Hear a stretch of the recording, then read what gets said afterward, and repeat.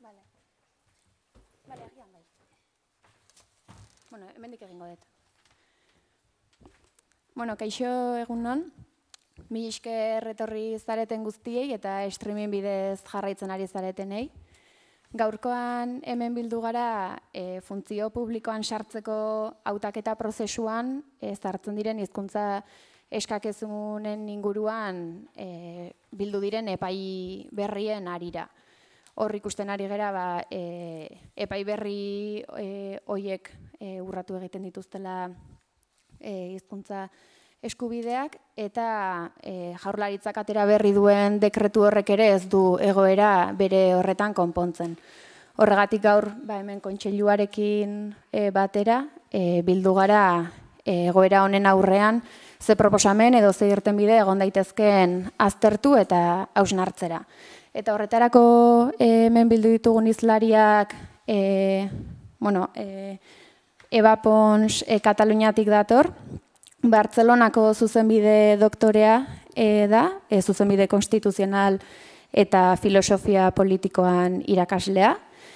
E, beste alde batetik Carlos Alberto Amoedo Souto daukagu, e, Unibertsitate Eskolako katedra duna, e, Koruñako Unibertsitateko zuzenbide publikoko departamentuko irakaslea, eta e, azkenik ba, inigo urrutia daukagu, EHUko administrazio zuzenbideko irakasle agregatua, eta e, bueno, txillardegi gogo eta gunearen eskariz EAen pairatzen ari den igadura e, lege gintzatik erantzuteko premiazko neurri batzuk proposatuko izkigu amaieran.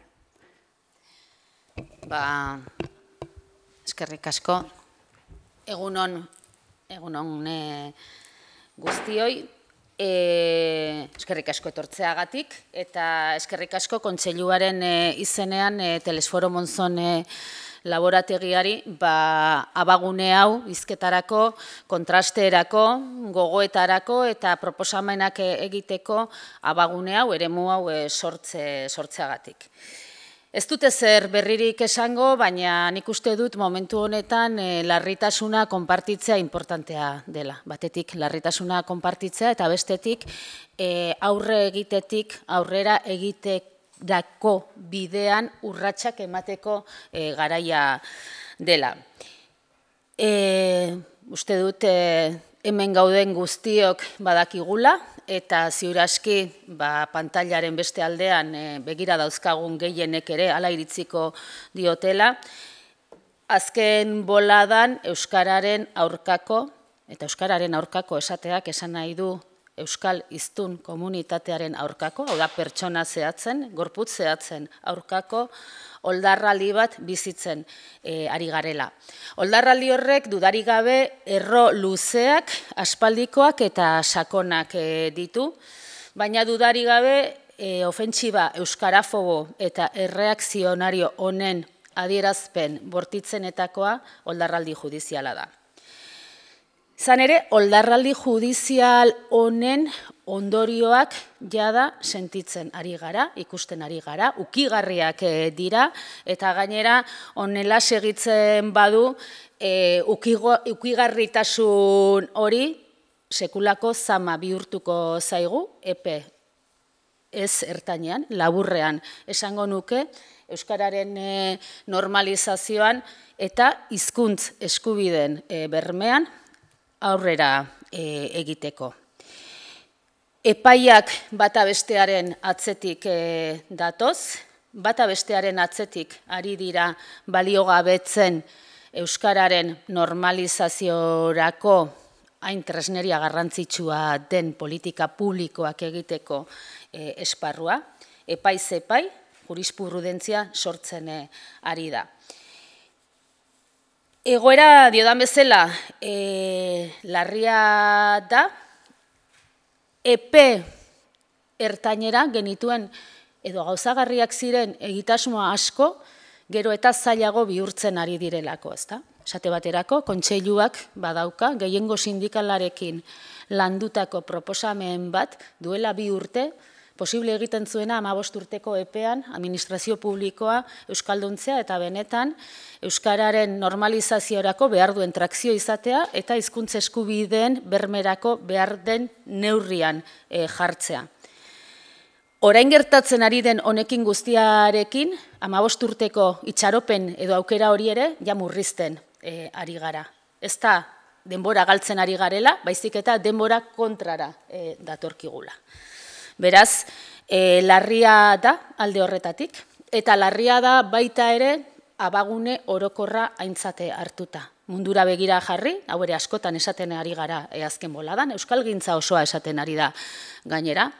Nola Euskararen eta orokorrean hizkuntza minorizatu guztien testu ingurua gero eta zailagoa e, dela, hiperglobalizazioak, digitalizazioak oso kinka larrian jartzen gaitu, ez bakarrik hizkuntza minorizatuak, hizkuntz hiztun kopuru gutxikoak, e, hizkuntza txikiak ere, bai? Eta aspalditik esaten ari gara, jauzi bat behar dela hizkuntza politiketan, jauzi sendo bat, eta justu hori eskatzen ari garenean kontra, kontrara datorrez e, guztia.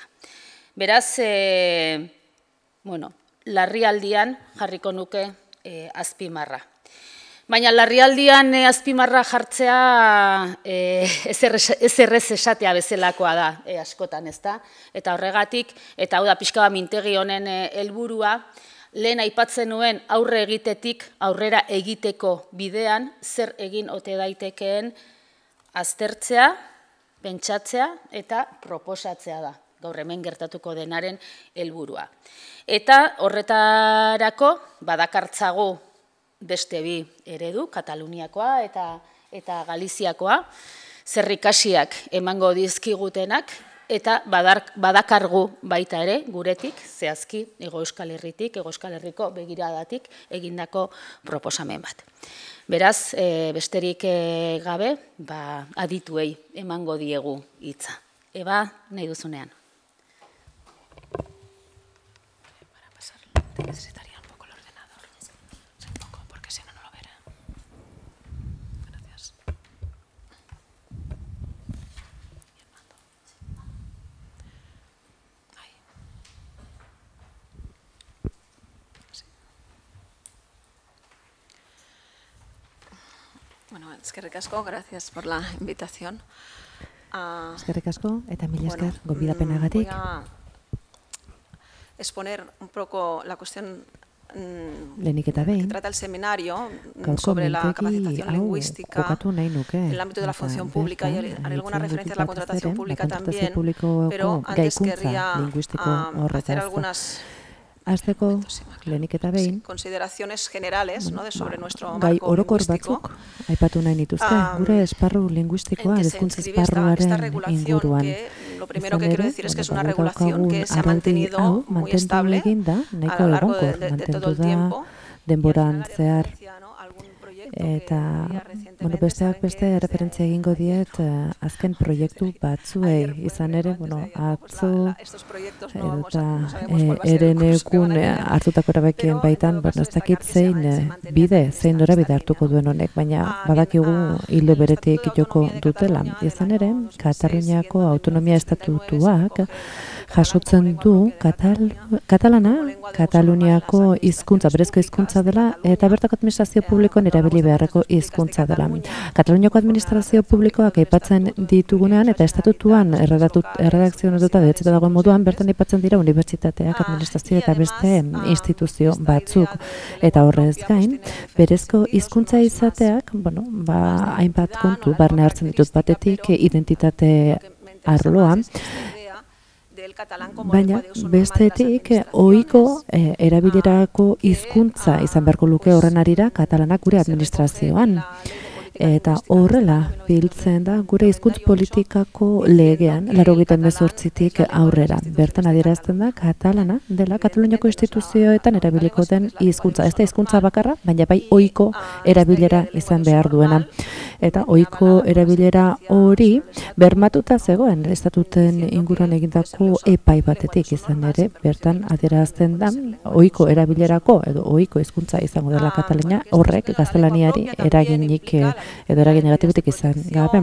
Horrez gain horrek e, berekin dakar ba, izango direla babes neurri batzuk eta horretarako estatutuan egiten dira prebizio batzuk. Berroita margaran artikuluan esate baterako zehazki heltzen dio gai honi eta katalana hizkuntzaren edakuntzari heltzen dio. Politiko hauek jurisprudentziak berak babesten ditu Eta bertan badago epai bat hezkuntzaren inguruan non esaten den bertan ba, hizkuntza normalizazioa sustatzeko neurrien artean eta katalanaren erabilera edatza aldera hartzen diren neurriak zilegi izango direla, legezkoak izango direla noski eta bestetik jasotzen da 2010ko goita maikagarren epai honetan ba, bertan aipatzen da bueno, ba, horrek adierazten dula desurekak gertatzen diren e, momentu horiek zuzendu egin beharko direla, baina horrek e, guzti hori bilduta dago Horrez gain, bueno, koofizialtasuna edo ofizialtasun bikoitzare estatutuak jasotzen du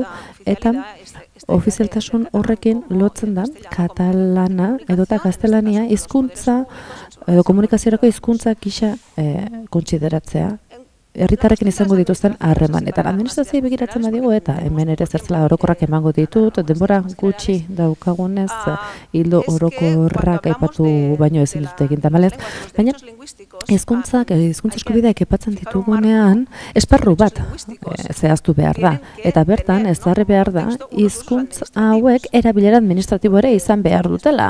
Ezinbestekoa da. Gero aipatuko ditut horren referentziak izan ere administrazioan erabilera egiten ez bada eta horrek erabilera ohikoa ekartzen ez badu, ezingo ditugu gure hizkuntza eskubide horiek baliatu.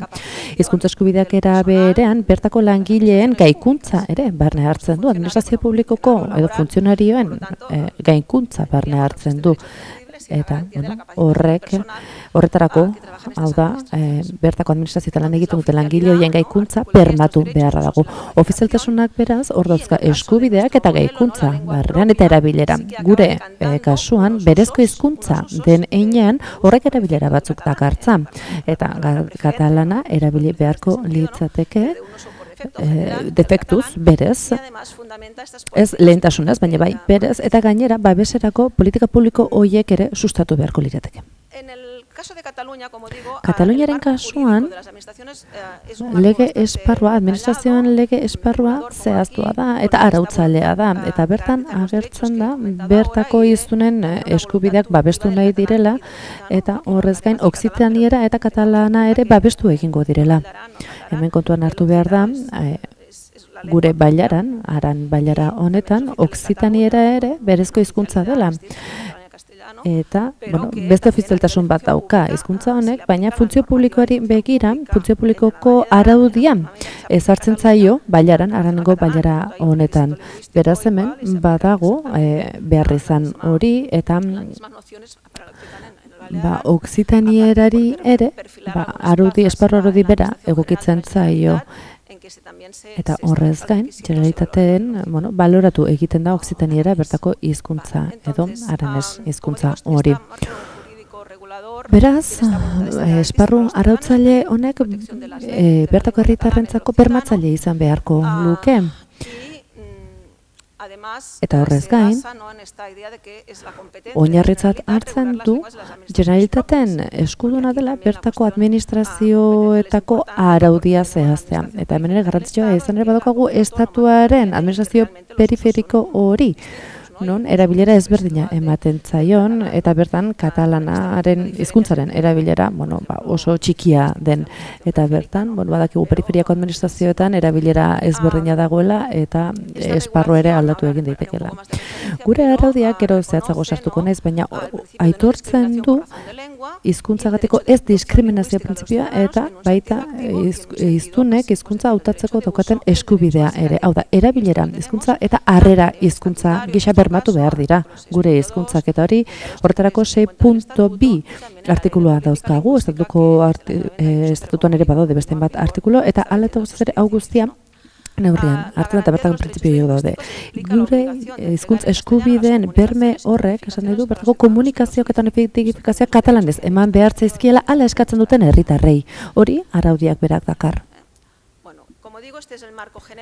Hau da, beraz, esparru orokorra, eta hau izango litzateke katalana hizkuntzaren erabilera, doiko hizkuntzaren erabilera gure instituzioetan. Hor daude hizkuntz politikako artikuluak, eta baita bertako prozedura administrazioak katalanez izapidetzeko behar izana ere, baldin eta herritarrak hala eskatzen badu. Hau da, normaltasunak edo normalizazioaren barruan bertako izapideak katalanez eh, tramitatu beharko lirateke gure administrazioetan. Esparru honek eraberean bere amaikagarren artikuluan zehazten du hautaketa prozesuetan bertako administrazioko langile, bai tokiko, bai eh, lekuko edo inguruko e, administrazioetan hizkuntza aitortu behar dela. Eta horretarako gaitasuna agertu behar da, bai idatziz, bai ahoz, bertako eh, lanpostuaren lekuko eskakizunen arabera. Hori hizkuntz politikako legeak zehazten du, eta beraz, ba, eh, oiko irizpidea izaten da, hori zehaztean. Eta beraz, plazaren araberako funtzioen arabera, ezarri behar dira, bertako hizkuntz gaitasunak. Horretarako dekretu bat dago, eta honek agertzen du bertako legedea zen izango da, eta zein den funtzio publikoko legea. Esta antes de entrar un poco más a la, a la, a la función pública sí Eta funtzio publikoan gehiago ah, sartu aurretik aipatu nahi nuke administrazioak ez daudela hasieran aipatu ditudan normalizazio politika horietatik. at izan ere katalan hizkuntza edatzeko behar hori administrazioan barruan ere era martxan jarri behar da. eta beraz administrazioak berak bermatu behar du politika publiko hori. eta gure hizkuntzen katalanaren eta oksitanieraren sustapena barnetik ere egin behar da. Hau da, ezin dugu hizkuntzaren babesa hitz egin administrazioak alde batera utzi, izan ere administrazioa privilegiatua den esparru bata eta bertan ere sustatu behar da katalanaren ezagutza eta erabilera. Eta hori kontuan hartu da beti. Hori kontuan izanik, ikusi da, ba, bertako eskubideen, eskubidak arautzetik aratako, ba, administrazioan sustepena egite horrek ere, asko eragin duela bertan. Katalana, ba besteak izan ere, ez administrazioan era hizkuntza bakarraren erabilera sustatzen, hori ez da inoiz publikatu horren arrazirik ez da gertu, baina ikusi da, tokiko administrazioa bakarrik eh, katalan ez mintzo den, eh, tokiko enuko gita mazazpia izaten da, gutxi gara bera, eta hau da, gutxi gara bera, erdia elebiduna edo izango litzateke gure generalitateko administrazioan. Eta hau, erabat aldatzen da, periferiako administrazioaz hitz egiten dugunean Kataluniako lurraldean. Baina, honek guztiak adierazten du katalana ez dela erabiltzen den hizkuntza bakar administrazioan.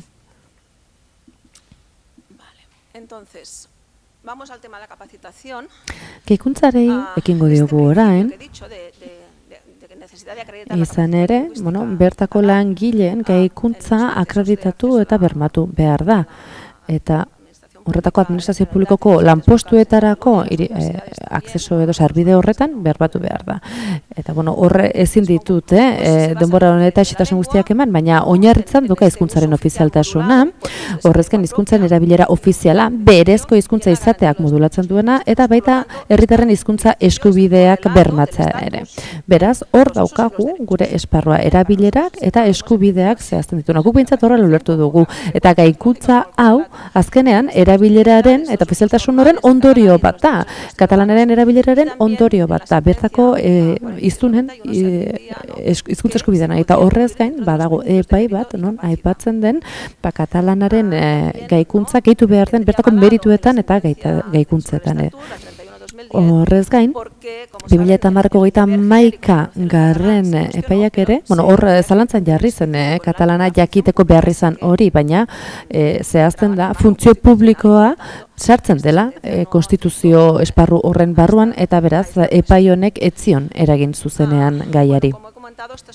Aipatu dut, lehendik ere, hau guztia ezkuntz politikak zehazten duela, bat laro gehieta amazazpiko legean, bertan funtzio publikoa erabakitzen da, toki le, tokikotasuna, eta bueno, gero hemen utziko izkizu eta referentzia guztiak PowerPointan behar izan gero. Baina gero badago beste dekretu bat, eta honek unibertsitate eragiten die, bereziki eta unibertsitateko hizkuntzera bilerari. Eta hemen ere, kontuan hartzen da. Horrez gain, tokiko esparruan ere, legeriak eta bertako tokiko administrazioa ere biltzen dira. Zer dio oinarrizko, araudionek oinarrizkoa bintzat Katalunian, eh?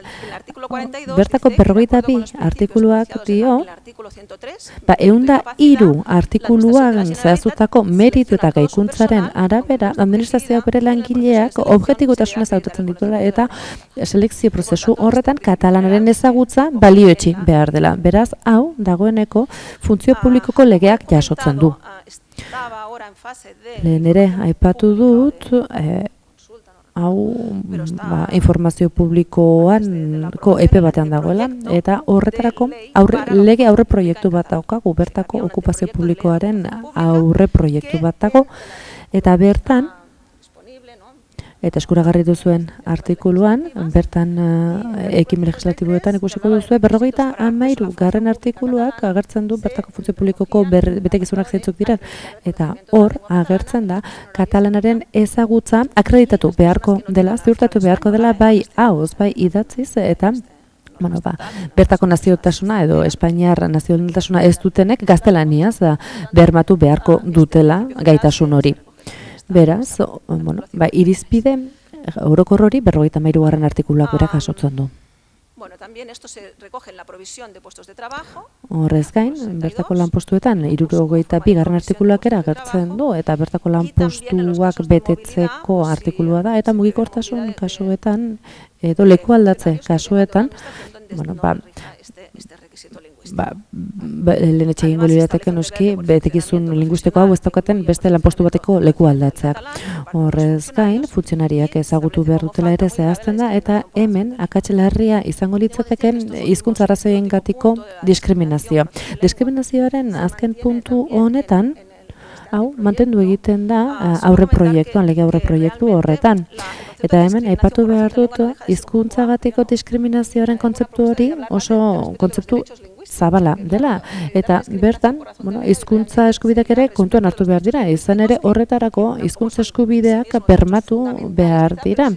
Behar bada ez dira oinarrizko eskubideak, hizkuntza eskubideak, baina bai dira estatutarioak eta bete beharrekoak eta beraz, ba araudi berri honek behar bada exigentzia gehiago zehaztu beharko luke. Ez dakit oraindik ondula geratuko den, izan ere orain badakizuen, ez? Hauteskunde deialdi horretan gaude eta bueno, iritsi garen leku lekuraino iritsi gara non asmoa hori zen. Tokiko administrazioan badaukagu bertako erregimea bi bimileta iru legea dena, eta bertan ikusten baduzue, ba, printzipio bera kontu dira, eta bertako bailarari ere e, deitzen dio, agertzen dira, eta bertako tokiko behar izanak erantzutera eta betetzera bideratzen du. Horrez gain, egun da irurogeita bat mila eta bi dekretua ere badugu, eta bertan zehazten da zein diren ba, bai hizkuntza akreditatzeko moduak. Eta larogita amabitik aurrera, ba, gure e, bigarren hezkuntzako e, irakaskuntza gaiak ze bata eskatzen du. Hau da, hizkuntza gaitasuna bermatu egin behar da irakaskuntzan, guretzat hori ere oso garrantzitsua da. Izan ere, ba, batez ere bigarren hezkuntzan arazoak izan ohi dira, erabilerari Eh, Horrez gain, ezagutza ziurtagirietan, hau da, katalaneko eh, tituluak ere eskatzen dira, eta irugarren ez, bai, irizgarritasun, bai, data, hau, honen aurretik ezagutzerik ez duten persona hori ez hau, ba, behar izan hori aplikatu egiten da. Hau, plaza guztietan ah, aplikatzen da, ezkontzepetek izun hau. Baina zein da, eskatzen den maila, bertako amabigarren artikuluan eta eranskinean, hemen ez dut agertu, baina normalean C bata da hizkuntza eskakizuna, hoi izan nahi da ohiko hizkuntza eskakizuna. Eta hori agertu behar da bai, bai postuetan, hizkuntza alkulari kasuetan, esate baterako igo egiten da, C bira, hori amabigarren artikuluak zehazten du, Bestetik, bueno, zuzenketa ezkuntz planifikazioetan eta kasortako postuetan ere C, bi maila eskatzen da, eta horrez gain, badira beste hainbat lan postu, ba, izkuntz betekizun maila basuagoa, bete beharrekoak.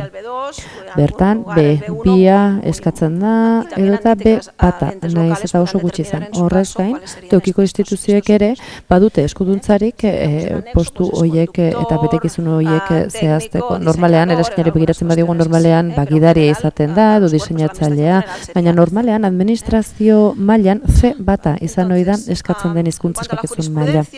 Horrez, jurisprudentziari dagokionez, hau onartu egin zen, berrogeita sei, larogeita maika, izan ere bertan agertzen berdintasun printzipioak betetzen zitula honek, eta hor, ba, betekizun honen arrazionizazioa aipatzen den, eh, kontsideratzen zen, hau justifikatuta zegoela, gaikuntza linguistikorako bide bat zela, naiz eta betekizun hau aldatu, aldatu ahal izan, bertako funtzioen, bete funtzioen edo lanpostoren arabera. Eta hori gaitasun eta merituen barruan sartu behar dela ere ezartzen da.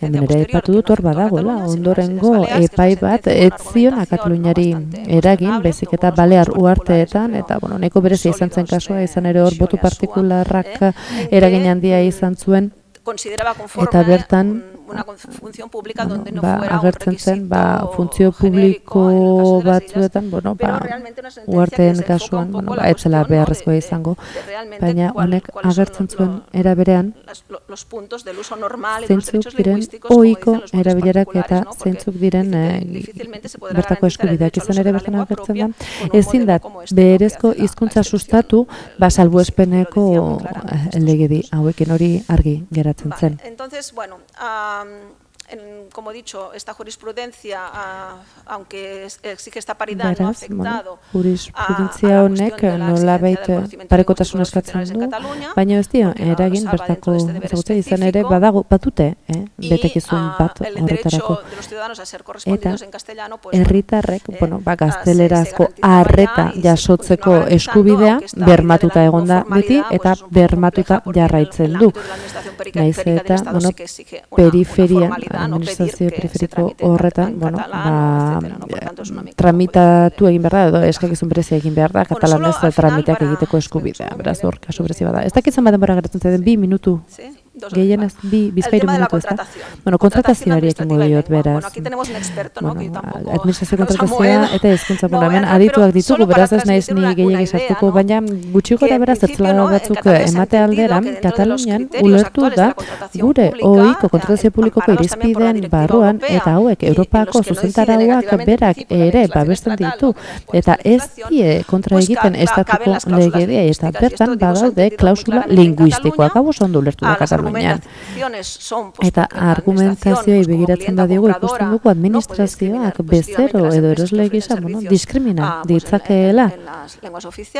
Eh, bertako hizkuntza ofizialak nahi du, eta bueno, horrez da agertzen, eh? hau da, administrazioarekin kontratatuak egiten dituzten ah, enpresa horietan, da, eta ez dela kontratista hauen eskubideak, u, eskubiderik urratzen, eta hemen herritarra zatu Hor badaude modulazio edo muga batzuk, exigentu daitekenaren edo ez, hor proportzionaltasun irizpideak daude, kontratu barruan, eta gara, baina Kataluniaren kasuan, naiz eta una, una previsión en la legislación lingüística sí que en la, una ley de medidas hor badago neurrien lege bat.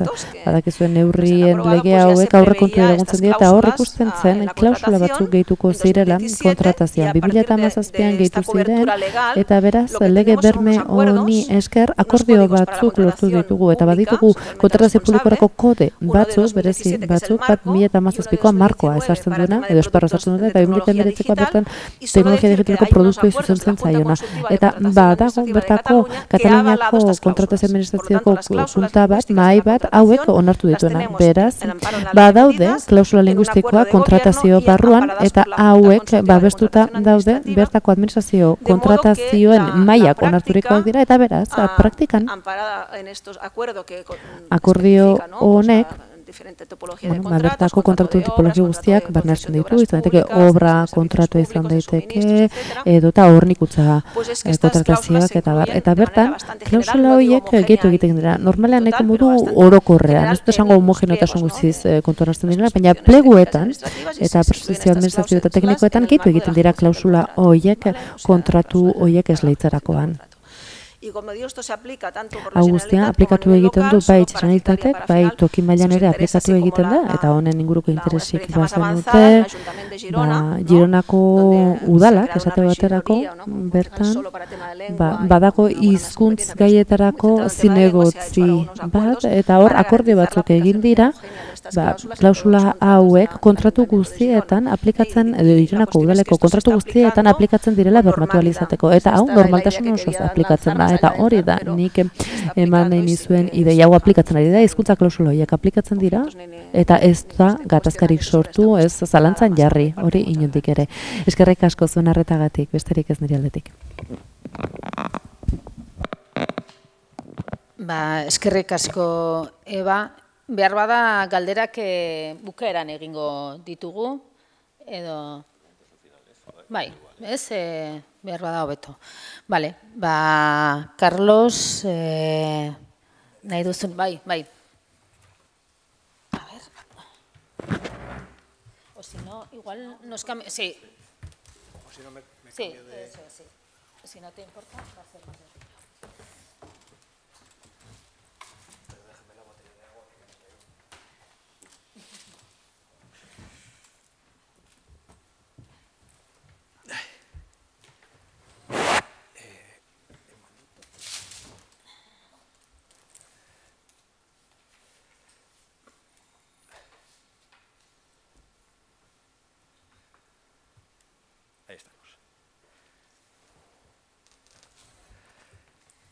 Egunon, buenos días. Eh, agradecer que Egunon, contado con, lehenik eta ben, eskarrak, eman nahi dizkizuet Galiziako hau txau ona eh, ekartzeagatik.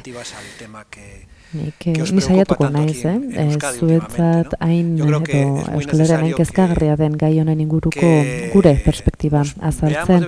Izan ere, eh, nik ezinbesteko jotzen dut tarteka marteka elkartza eta gure agendak mai gainean jarri eta parekatzea, ez da? Gure komunitateetan, gure eh, autonomia arkidegoetan, bueno, badakigu hor arazo antzekoak izan ditzakegula, eta hor galeuska ere hor dago, ez? Gure behar da itona munen eh, onjordeko jaso duguna, eta badirudi, bueno, ba, izkuntzu honetan edo eta Madrilgo e, zulo beltzonek eta estatu zentralizazio honek ekarritako eraginak guri ere eragiten digunean ba, partekatu ditzakegula gure esperientziak besteak beste hizkuntzu normalizazioan eta ikusiko genuke kasu horretan baditugula arazo komunak, interes komunak.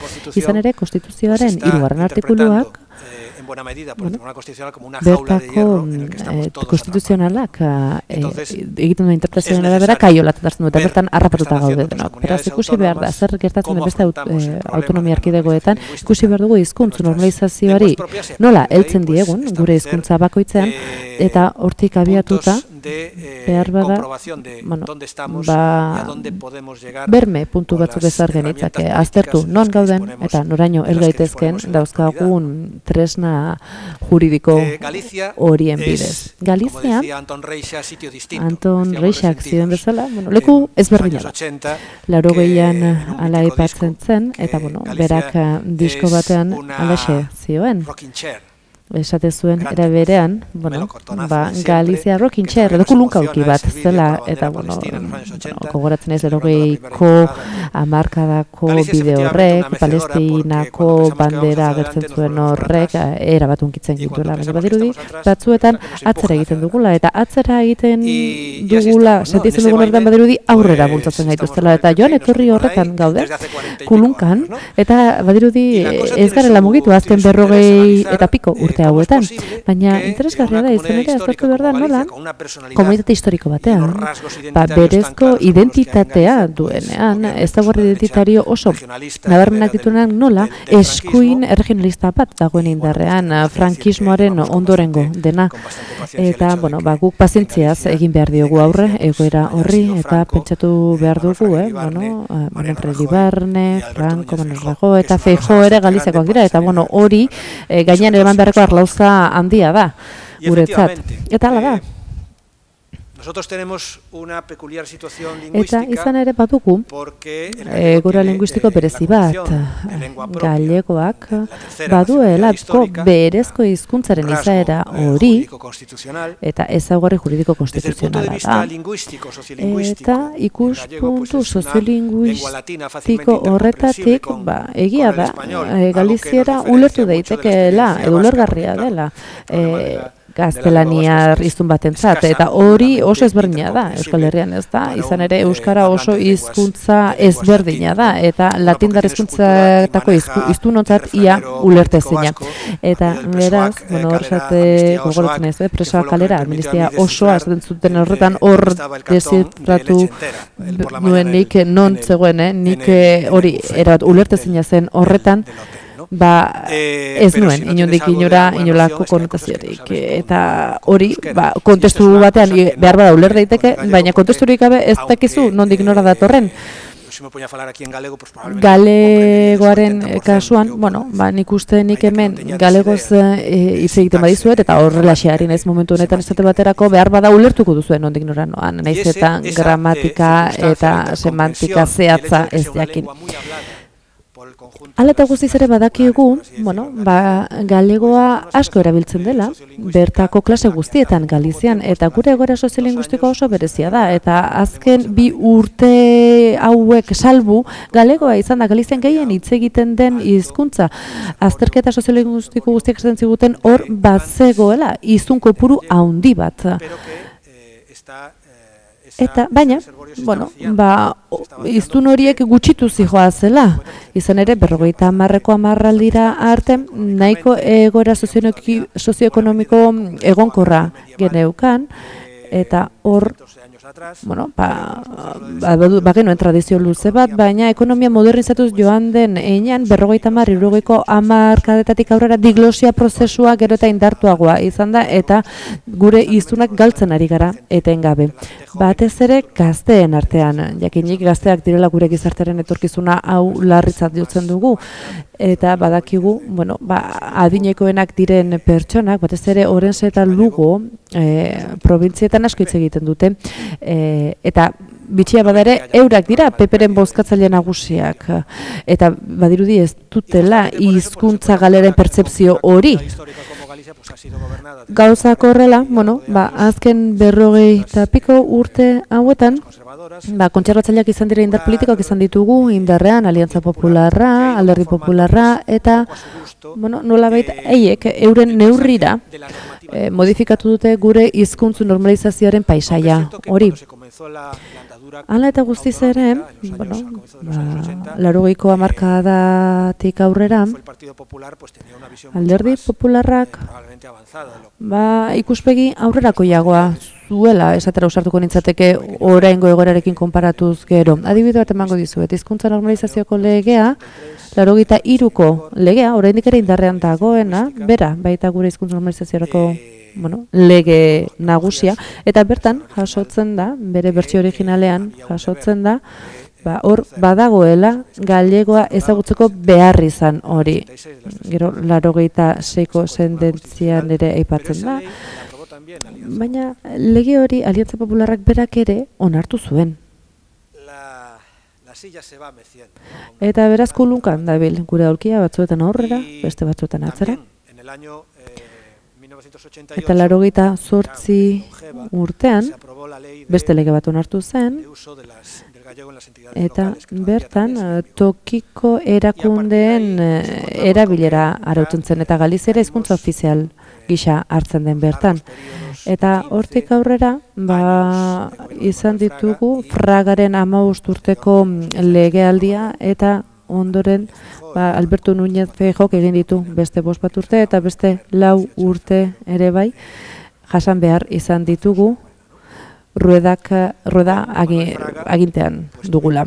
Fragarekin, ba, egonkortu egintzen nolabait, elebitasun harmoniko horren hizkuntz politika fragak etzien bizkarren baten galegoari. Baina, bueno, berak uh, dogma berezi batzuen, hitz txarrik ez, ekintza txarrik ez. Eta beraz, hizkuntz uh, normalizazioari profilio ekonomiko oso basio ematen zion, ez saiatzen bertako normalizazio prozesua sustatzen eh, bereziki behintzat. Eta ondoren, eh, 2000 eta bost, 2000 eta bederatziko alderdibiko gobernua, saiatu zen ambizio handia goz uh, bideratzen normalizazio hori. eta gara jordan erreakzio bat izan zen. Neoliberalismo linguistikoak erreakzionatu egin zuen eta gaur gaurkoz oraindik ere haren presentzian abari dugu. eta nabari dugu bereziki hizkuntzu normalizazio prozesu horretan Diapositiba honetan agertzen dizkizuet zeintzuk diren gure arau nagusiak, gure eh, erregimen juridikoa ezartzen dutenak galegoaren eh, erabilera bertan arautzen da eta hildo nagusi begiratzen badiegu ez dira inez berdinak eh, zuenarekin edo Kataluniakoekin konparatzen baldin baditugu.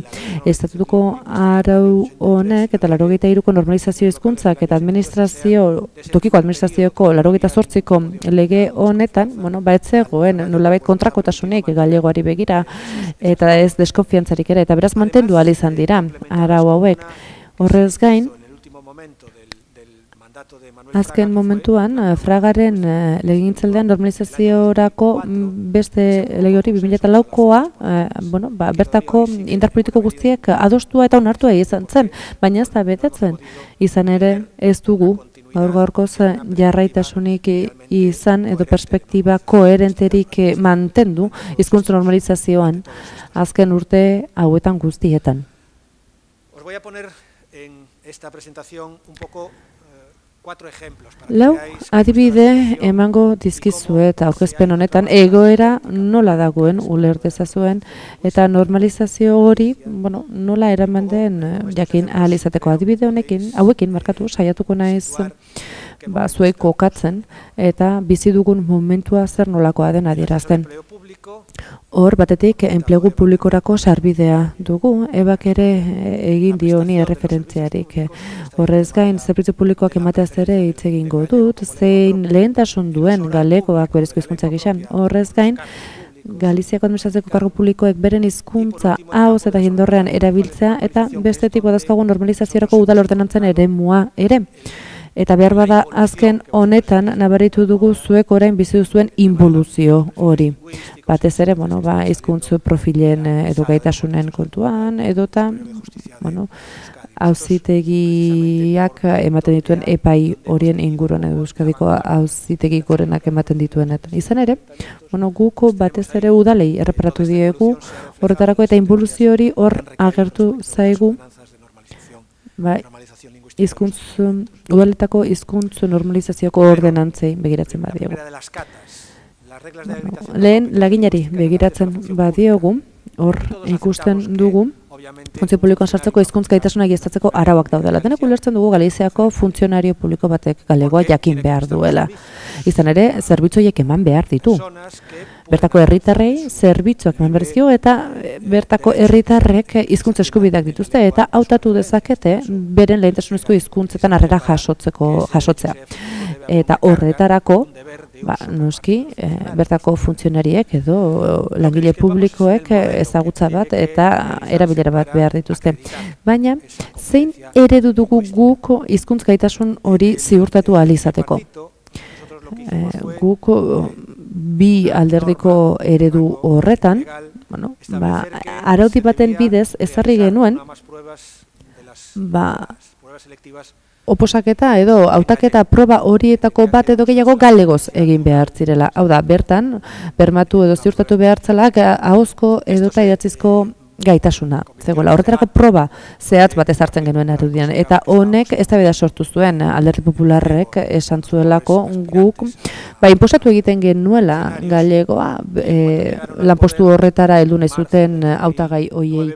Eta indarrea lege gintzaldia hasi zutenean, ba, bertan Alberto Núñez Feijok onartutako edo xuntera itxizena onartutako lehen e, arauetako bat ba, izkuntz gaitasun hauen e, ezagutza bermatzeko puntua izan zen. Eta beraz, momentu honetan ez da inolako azerketarik egin behar galegoz. Guko ziurtagiri bat aski dugu, izkuntz ziurtagiri bat aski dugu, gure hizkuntz gaitasuna e, bermatzeko. E, batetik e, laura doazen ziurtagideak dauzkagu eta normalean laugarren e, profil hori eskatzen da eta bertan da batxiergoa galegoz egin duten izunak izango litzateke gero bosgarren maila bat ere badaukagu beraz sarbiderako e, betekizun hori e, ziurtagiri bat eta ziurtagiri hori ia mundu guztiak dauka.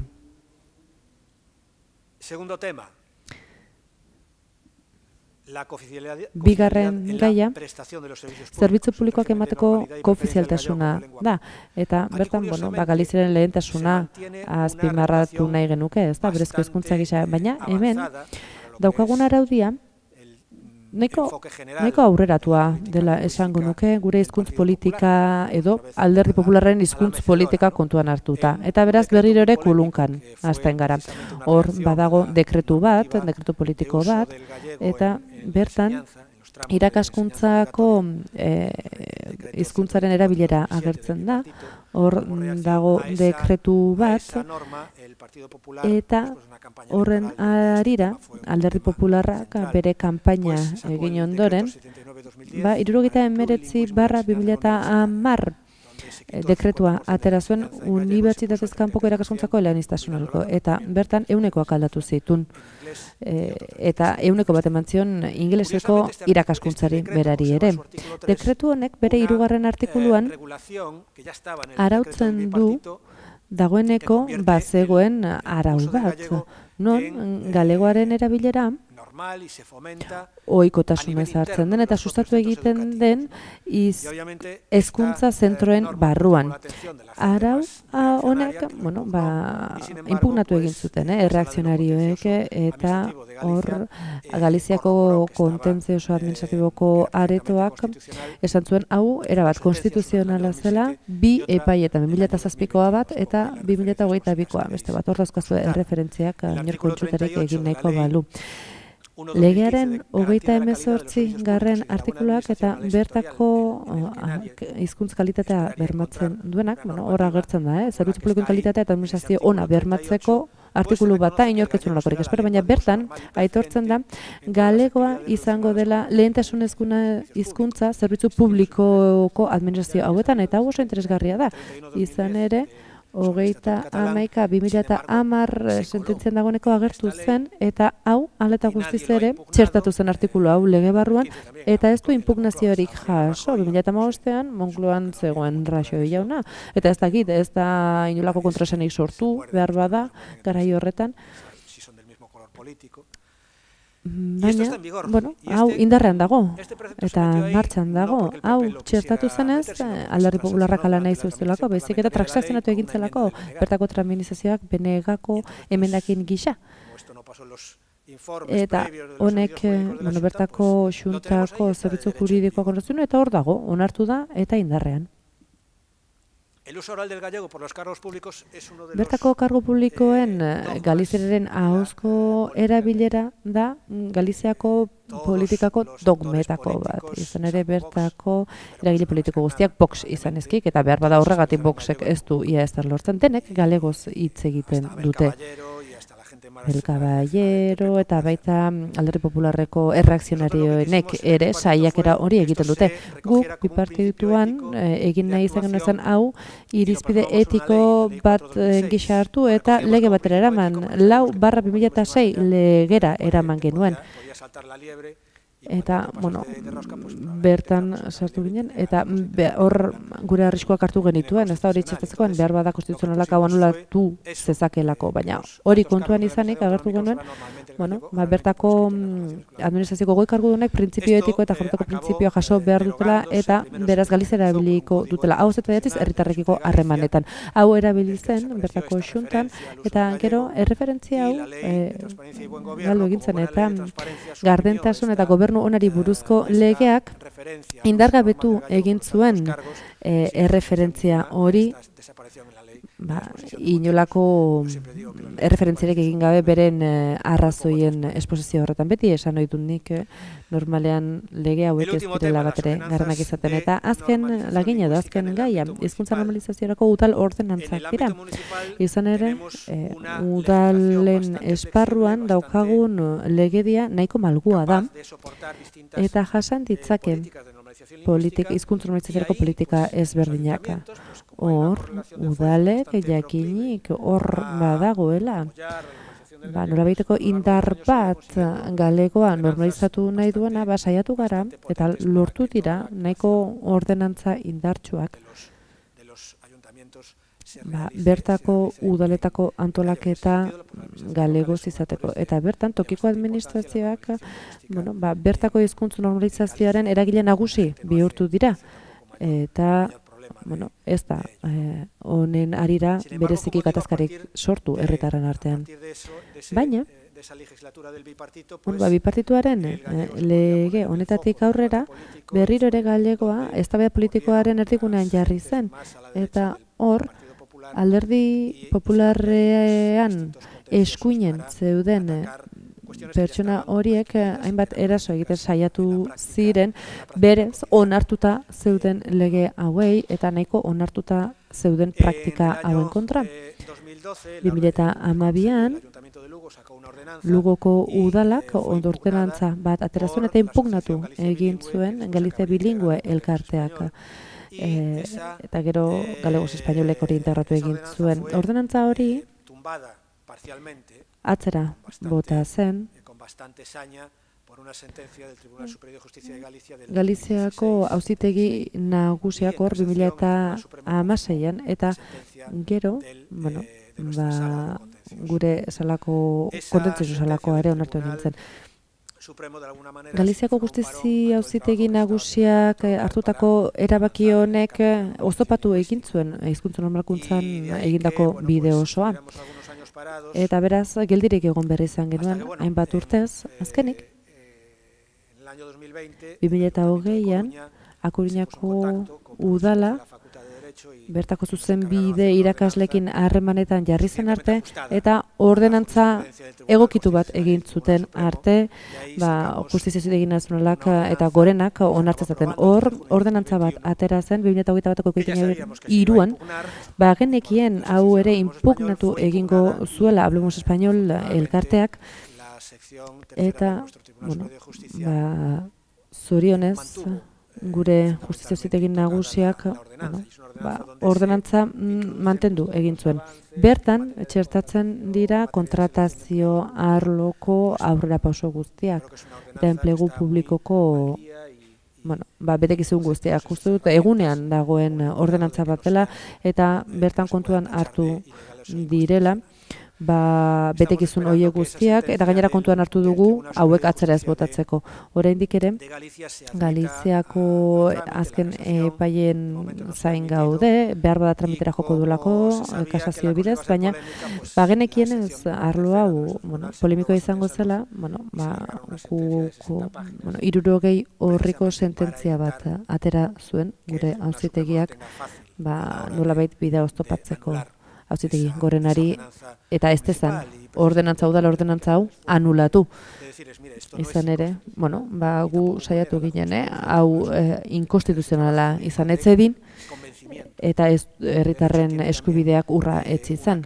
Izan ere, bueno, zuzenbideak beti du, eh, interpretaziorako margin bat, baina beti ere konstituzioaren parametroen barne. Eta hor ba, itxaron beharko dugu zer dioen bertako konstituzioa auzitegiak. Eh, eh, Amaitzeko, bueno, iruditzen zait, alderdi popularraren hizkuntz politika agortzen ari dela Galizian eta hori argi agertzen da ikusten dugunean bertako estatistika soziolinguistiko horiek dagoeneko agertu dutelako, bueno, ba, gaztelaniaz mintzo diren hiztuna gehiago direla, galegoz mintzo direnak baino gaztela Galizian barkatu. Eta ikusten dugu guk hor genuen arrobi hori agortzen ari dela eta joerak horrantz joko duela. Beraz, behetik hasita, gizartetik hasita eta instituzioetatik ekinez guk gure ondarea babestu nahi dugu identitate ondare hori eta etengabe gogorazten dugu bertako hizkuntz politika neoliberal hori non ez den ezerrukitu behar eta dena ondo doan eta bar, bueno, horrek bere mugak dauzkagala eta agerian agertzen ari direla. Horren ordez, ba, gure esparru konstituzionala ikusteko beste bide batzuk ire berritugu eta birrarmatu egin behar dugu juridikoki gure hizkuntz politika eta postua egin behar dugu galegoaren edo berezko hauen lehentasunaren aldeko apostua egin behar dugu.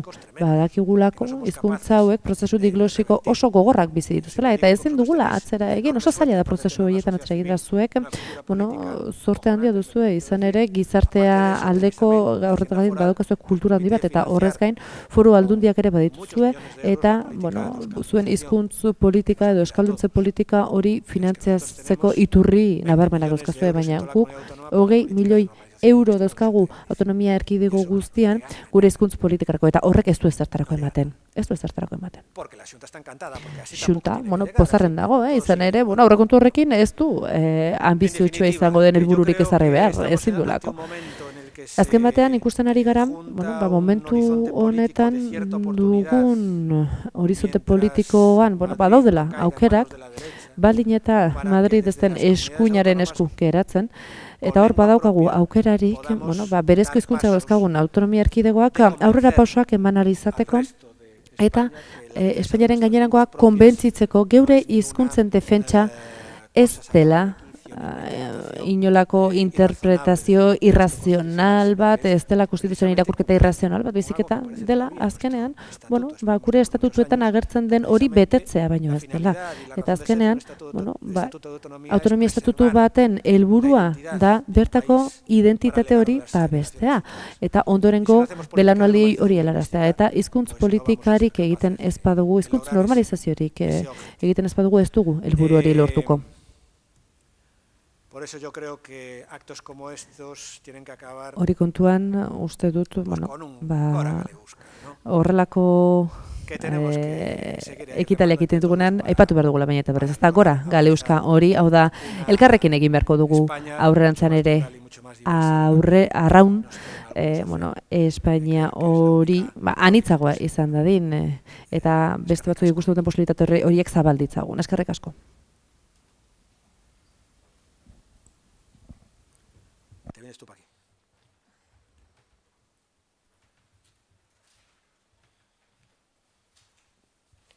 Bueno, Carlos, ba, eskerrik asko.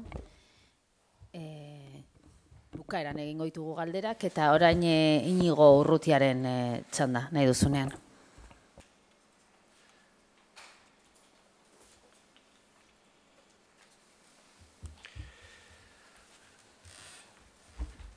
E, egun on guztioi, bos diaz, bon dia. Bueno, gaur, e, ona natorkizue proposamen batekin, bai. E, idurrek esan bezala e, egoera latza da, eta jauzi egiteko unea da.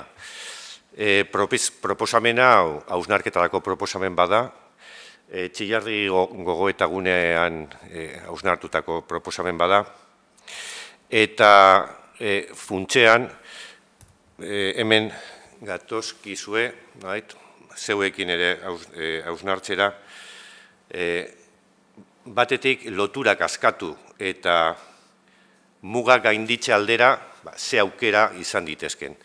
Gauza asko e, aurreratu dira, e, funtzio publikoaren erregimen juridikoari buruz, eta bar, nizertxela da txiki batzuk emango dizkizuet, testu ingurua kokatu eta ondoren proposamenera joango naiz, bueno, debatea zabaltze aldera. Aurrera iteko honekin, bai. Iruditzen zait, e, abiatu behar dugula bai durrek e, abiatu duen e, puntutik eta da, gaur rengo testu ingurua benetan komplexua da. E, iruditzen zaigu eta pluralean nabil. Eh? Hizkuntza politika momentu honetan bide gurutxe batean dagoela. Une honetan, Euskal Autonomia Erkidegoan, Nafarroan baita, Euskara eraso sistematikoen menpe dago. Eta guzti honek erakusten diguna da gure oinarri juridikoen auskortasuna. Oinarri juridiko erabat auskorra dauzkagu. Euskararen aurkako erasoak sententziak, normalizazio neurrien kontrako sententziak, aspalditik datoz, ez da gauza berria. Eh? Baina momentu honetan, egin daiteken balorazioa da, benetako involuzio batean kokatuta gaudela, edo kokatu gaituztela. E, erabat sistematikoa da Euskararen kontrako erasoa, ez? Euskararen aldeko edozein urratz, susmopean dago momentu honetan, eta e, juridikoki zalantzak sortzen ditu Euskarari lehentasuna eman diezaioken edozein neurri zuzenbideen araberakoa den edo ez. Egoera horretan gaude, ikuspegi juridikotik irakurketa hori behar du. Euskararik ez, dakitene, ez dakitenak ez diskriminatzeko norabidea hartu du hausitegiak ardatz modura. Euskararik ez dakitenen eskubideak, bai? E, hau, ba, literatura feminista, ba, bueno, ba, irakurri dugun guztio, ba, bueno, badakigu, hau dela, nolabait, ikuspegi erabaz supremazista, ez? Euskaldunak berdin gaztelera zaten ditu dezake. Eta e, nolabait erdal taldearen aldeko norabiden zera hori hori da nolabait e, ba, gaur egungo Euskararen bigarren mailako txa hori edo morron txa hori ba, bueno, bertan mantentzea ez. Beraz hemen planteatu deitekena da, momentu honetan dauzkagun tresnak nahikoa sendoak dira eraso horri aurre egiteko. Bueno, kokapen konstituzionalari buruz eta bueno, gauza asko komentatu dira, beraz ez naiz honetan e, sartuko. Ez hor dauzkazute ideia batzuk, eta bueno, nik uste dut hori, bueno, e, nolai bi plano, eh, e, nolabait e, josten dira hemen, batetik e, Euskararen estatusaren planoa, eta bestetik e, enplegu publikoaren araubidearen planoa. Nolai, biak... E, sortzen duten bi plan hori sortzen duten eh, ardatz hortan, eh? E, ardatz hori da, nolabai gaur egungo, gaurko, zera, ez, ba, gaiaren, zera, ba, muina. E, ofizialtasunari buruz, ba, bueno, hizkuntza ofizial bat zein bestea e, hautatzeko eskubide subjetiboa sortzen da, beraz edo zein iritarrek euskera erabiltzeko normal, natural tasunez eskubide hori bermatu beharko litzaioke, eta horrek berorrek sortzen du administrazio publikoaren aldetik, hori eskubide hori, ofizialtasunetik eratortzen den eskubide hori bermatzeko e, beharra, eta horrek, berorrek eskatzen duena da, administrazioaren zerbitzura dagoen langileriak ba, gaitasun nahikoa izan behar duela eskubide hori bermatzeko. Enplegu publikoari buruzko araubideari buruz bakarrik mm, ideia bat komentatu eta da, batetik, bueno, hau, e, konstituzioak hau planteatzen du nolait oinarrizko eskubide modura hain zuzen, e, bueno, ba, herritarrek eskubidea dutela, funtzio eta kargu publikoetara berdintasunean iristeko, hau da, hausitegiek orain azalduko dizuedan bezala, aipatzen duten artikulua, gure normalizazio prozesuaren aurka egiteko, gaita irugarren artikulua, honen aurkako neurriak hartzen ari diela administrazioetan, euskarazko plazak eta eskatzen dituztenean, eta barrez. Baina artikulu horrek gero esaten du gorriz daukazuten, e, oinarrizko eskubide hori hau da, funtzio eta kargu publikoetara berdintasunean iristiko eskubidea, hor dago, baino beti ere legeek ezarritako betekizunekin. Bai. E, bueno, estatuko legislazioak, oinarrizko legislazioak ere, bueno, nolabait, bide ematen du, estatuko legediaz nabil, eh? enplegu publikoaren oinarrizko estatutuaz nabil, eta horrek, lege horrek bide ematen du, bueno, ba, aitortzen du adibidez, herritarrari, ba, herritarrak berak, e, eskatutako hizkuntzan erantzungo saiola, ba, bueno, bermatu behar saiola. Hori estatuko lege, lege batek dio. Eta baita ere, bueno, ba, berrogeita garen artikuloak esaten duena da, administrazio publikoek, nolait, Euskara, Katalanera eta Gallegoa ezigitu behar dutela funtzio publikoan zarbide prozesuetan, hori estatuko legislazioak esaten du. Bueno, zein da, banatora pura taskar, e, Euskal Autonomia Erkidegoan ze nola garatu den, ez, funtzio publikoaren, zarbidean, ba, bueno, Euskararen tratamendua. Bueno, guzti honek, e, edo, nolait, oinarrizko araubidea Euskararen legeak, mila behatzean eta laurogeita biko Euskararen legeak, ez, e, jasotzen du. Dakizuten moduan Euskararen legeak, laurogei garren amarkadoko alaba da, bai, lege ura. Eta e, Euskararen legeak, e, zea dauka, e, e, eredu bat, bai, Katalunian eta Galizia nolabait integraziorako sistema bat ezarri zuten lanpostu guztietan katalanera, gallegoa, nahi ezkoa da, e, irakaskuntzan ikasle guztiak bilduko ditugu gela berdinean, eta katalanera, gallegoa, katalanera, gaztelera, katalane, edo, gallegoa, e, gaztelera, biak hizkuntza kombinatuko dira antxe. Baina, gure sistema kaldiz, egiten duena da, ikasle batzuk gela honetan jarri, eta beste ikasle batzuk beste gela hartan, hizkuntzaren arabera segregatuz. Bai? Eta berdin gertatzen da komunikabidekin, komunikabide publikoi begira, Euskal Telebista daukagu gaztelerazko kanal bat, euskerazko kanal bat, separaziorako sistema bada. E, askatasunak bermatu nahi duen sistema bat, eta, eta sistema hau ezaguna da Europan, zehaitik, ba, gutxiengoen zuzenbidea separazio sistematan oinarritzen dalako. Se reconoce el derecho de las minorías a crear sus, escuelas en su lengua minoritaria, se reconocen en las minorías el derecho de acceder a la administración pública, eh, si es una mayoría si es un grupo suficientemente numeroso, si responde a una, necesidad real, eta barrez. Baina nolabait separazio hori, bai? Eh, hori garai bateko errealitate bati erantzuten dion parametroa izan diteke, baina nik uste hausnarketa bat egin behar dugula momentu honetan. Berrogei, garren, berrogei urteren ondoren, e, orain gutxi argitaratu da, zazpigarren inkesta soziolinguistikoa. Eta gaurko gaiaren arira, irudatu. Ezagutzan, azken hogeita mar urtetan, Euskaldunen e, portxentajea uneko hogeita laua zan, lautik bat. Euskalduna zan, momentu honetan, euneko hogeita amaseia da. Bigarren datu interesgarria, amasei eta hogeita urte bitartekoen, hau da, gaztetxo hoien, e, hoien, hoien artean, euneko irurogeita amalaua euskalduna da, momentu honetan. Euneko irurogeita amalaua.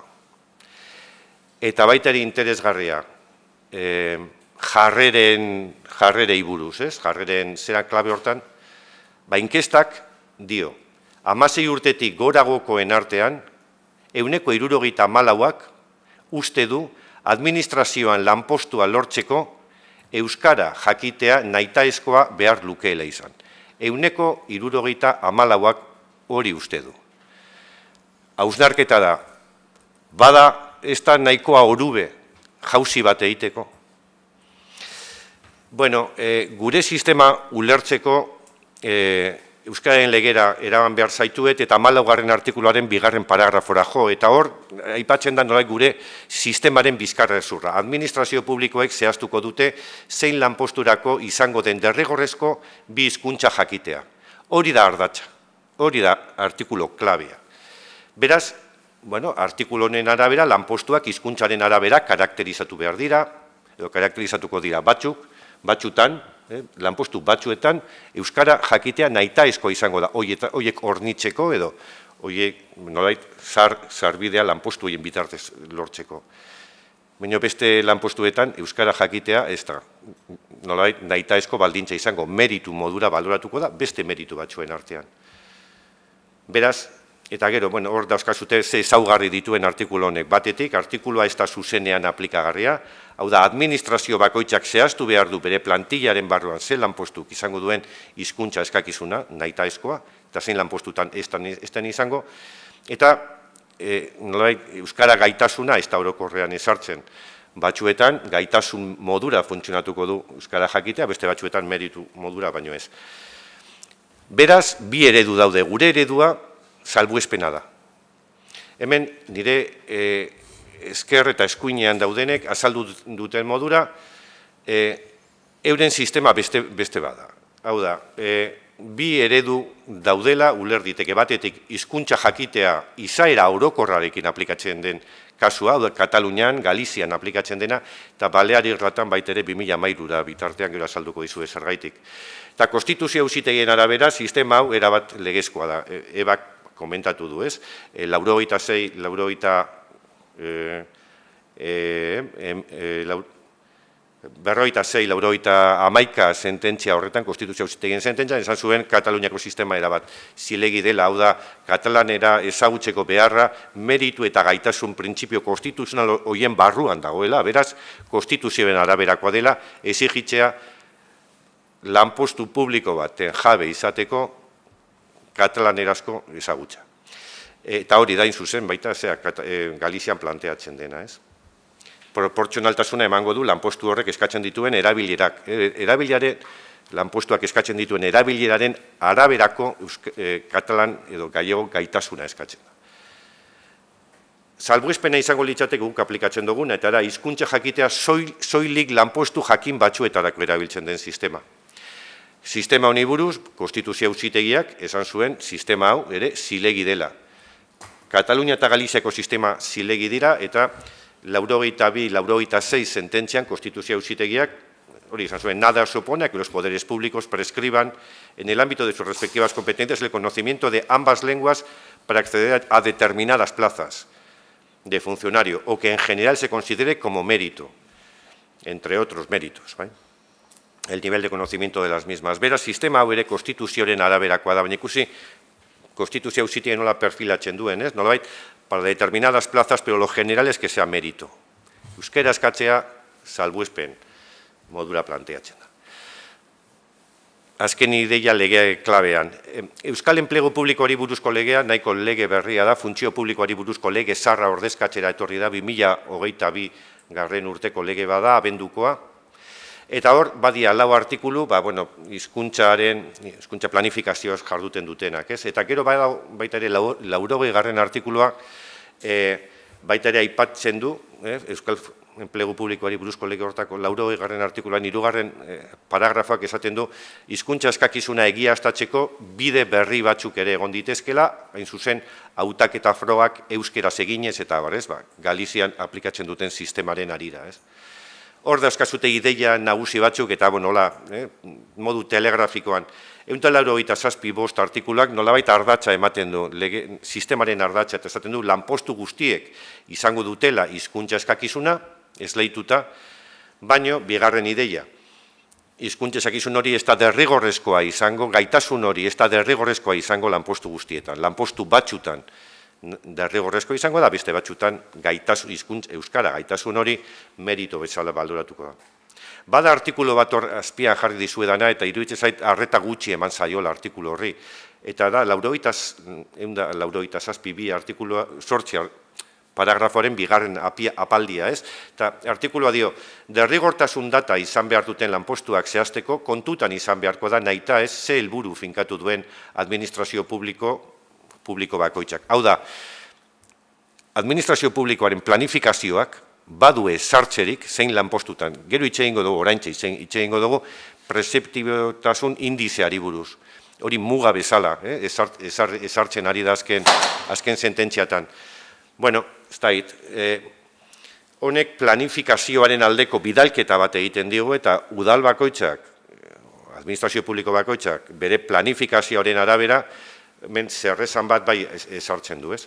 Bueno, sistema garatu da dekretu bidez, e, orain gutxi da arte, e, lauroita zei, lauroita mazazpi dekretu egon da, da perfilen dekretu, izkuntza zekizunen dekretua, eta e, emakumeen egunean e, argitaratu zen e, dekretu berria, izkuntza zekizunen dekretu berria pasadan, ostiralean, aurreko ostiralean izan zen, eta da, emeretzi, 2000 hogeita lau dekretua, otxaiaren hogeita bikoa.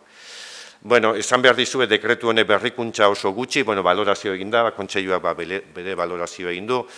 E, bueno, berrikuntza gutxi dakar, e, izkuntza eskakiz, berrikuntzak izango liateke, ba, izkuntza eskakizunen ba, konfigurazio aldaketa txiki batzuk, simetrikoak, asimetrikoak, ba, zen mal, malgutu dela, ez, ba, bueno, sistema bera, e, egia estatzeko bide berriak esarri dira, lanpostuan arituz lortu daiteke perfila, e, edo, bueno, ba, beste, ba, beste, zera, ez, beste sistema batzuk ere, pues, bueno, hor, esarri dira, e, bueno, eta gero, akaso interesgarriena, dekretua dakarren interesgarriena da, nolait, lotu dela hizkuntza sakizunaren e, akreditatu, akreditatua baldin badago, erabilerarekin, eh?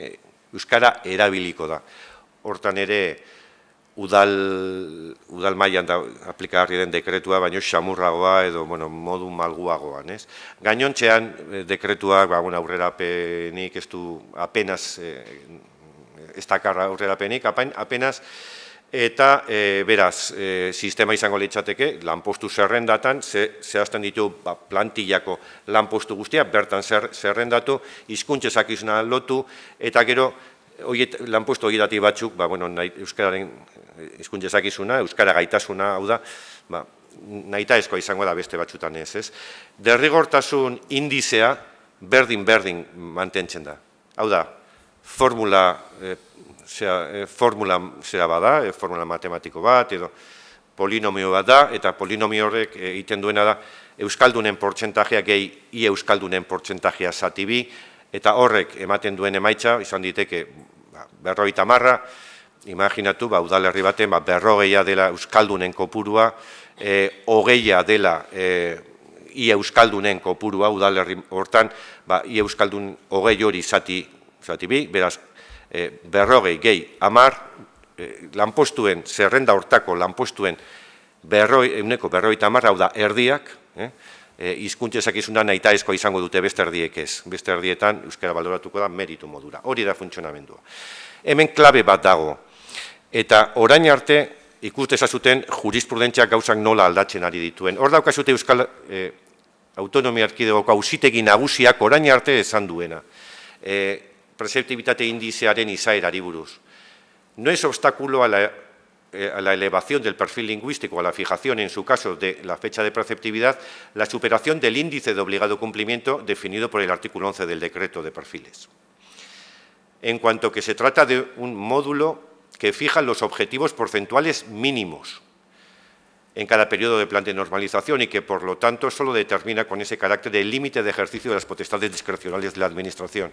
Verás, ausitegiak 2000 maikan, esan zuen, ausitegi nagusiak esan zuen, e, indizitik gora egon daiteke. Toki askotan indizitik gora gabiltza. Eh? Hori ala da. Beraz, e, orain, e, hor jartzen dizuet, dekretu berriak, dekretu berria aukera galdu bat izan da. Nolait, hau kolokan dagoelako momentu honetan ausitegien jurisprudentziaren, e, jurisprudentziak kolokan jarri du, prezeptibitate indizearen nolai gutxienezko izaera hori, hau da, administrazioan euneko berroita marra baldin bada, lanpostu gehiagotan, hau da, iruro gehi lanpostutan derrigortasuna jardezakegu edo ez. Hori da, eh, planteatzen dena. Jurisprudentziak orain gutxi arte, hori esaten zuen, jur, eh, jurisprudentziarik berrien hauntza salduko dizuet, nola hori mugatu duen, errotik, eta dekretuak aukera zeukan apurati hotzeko, baino ez du ezer ere esan, ez? Hor daukazute oldarraldia, ez, hola, eskema batera eraman da. E, iruditzen zait, e, e, sententzia klabea dela Kataluniako estatut, e, estatutari buruzko sententzia, bai? E, hor, izkuntz ofizialtasunaren parametro nagusiak e, aldatze aldera egin zuen movimentuak konstituzio ausitegiak, ez? E, saieste zineko, bi izkuntzen arteko saieste zineko orekaren printzipio esarri zuen, horrek esan nahi du, administrazio batek ez dauka bat bultxatxerik, oreka neutraltasuna izan behar da izkuntzen e, artean, salbuespen batzuekin, preferentziazko neurriak edo lehentasunezko neurriak e, onartzen dira, baino zea baldin badira, proportzionala baldin badira, eta, bai? Eta, eta hori. Gero, konstituzio hausitegia jurisprudentzia honi jarraitu dio, ebak aipatu du, ba, balear irlei buruzko e, izkuntza planifikazioari buruzko sententzia hura, e, 2000 mairuko, e, balear irlatan, alderdi popularra gobernura heldu zanean, egin zuena izan zen, e, katalaneraren ezagutza bakarrik lotu le, lehiatian edo iritarrekin harreman zuzena duten lanpostuetan, beste guztietan kendu zuen katlaneraren e, bete beharra. Eta hori izan, hausitegiari galdetu zitzaiona. Hau nola da posible, ez? Osa, konstituzioa espada aldatu lehen justifikagarria zan eta proportzionala zan lanpostu guzti guztietan katalanera ezagutzea, eta orain konstituzio berdinarekin eta legedi berdinarekin nola izan daiteke berdin konstituzionala errotik entzea katalanaren ezagutza. Ba, konstituzio hausitegiak zuen problemari jarri. Bueno, ba, honek ez du hizkuntzen arteko oreka printzipioaren aurka egiten. Hor, adelazuak eta ziolek, eh, botu partikular oso interesgarria dute, eta hori merezi du.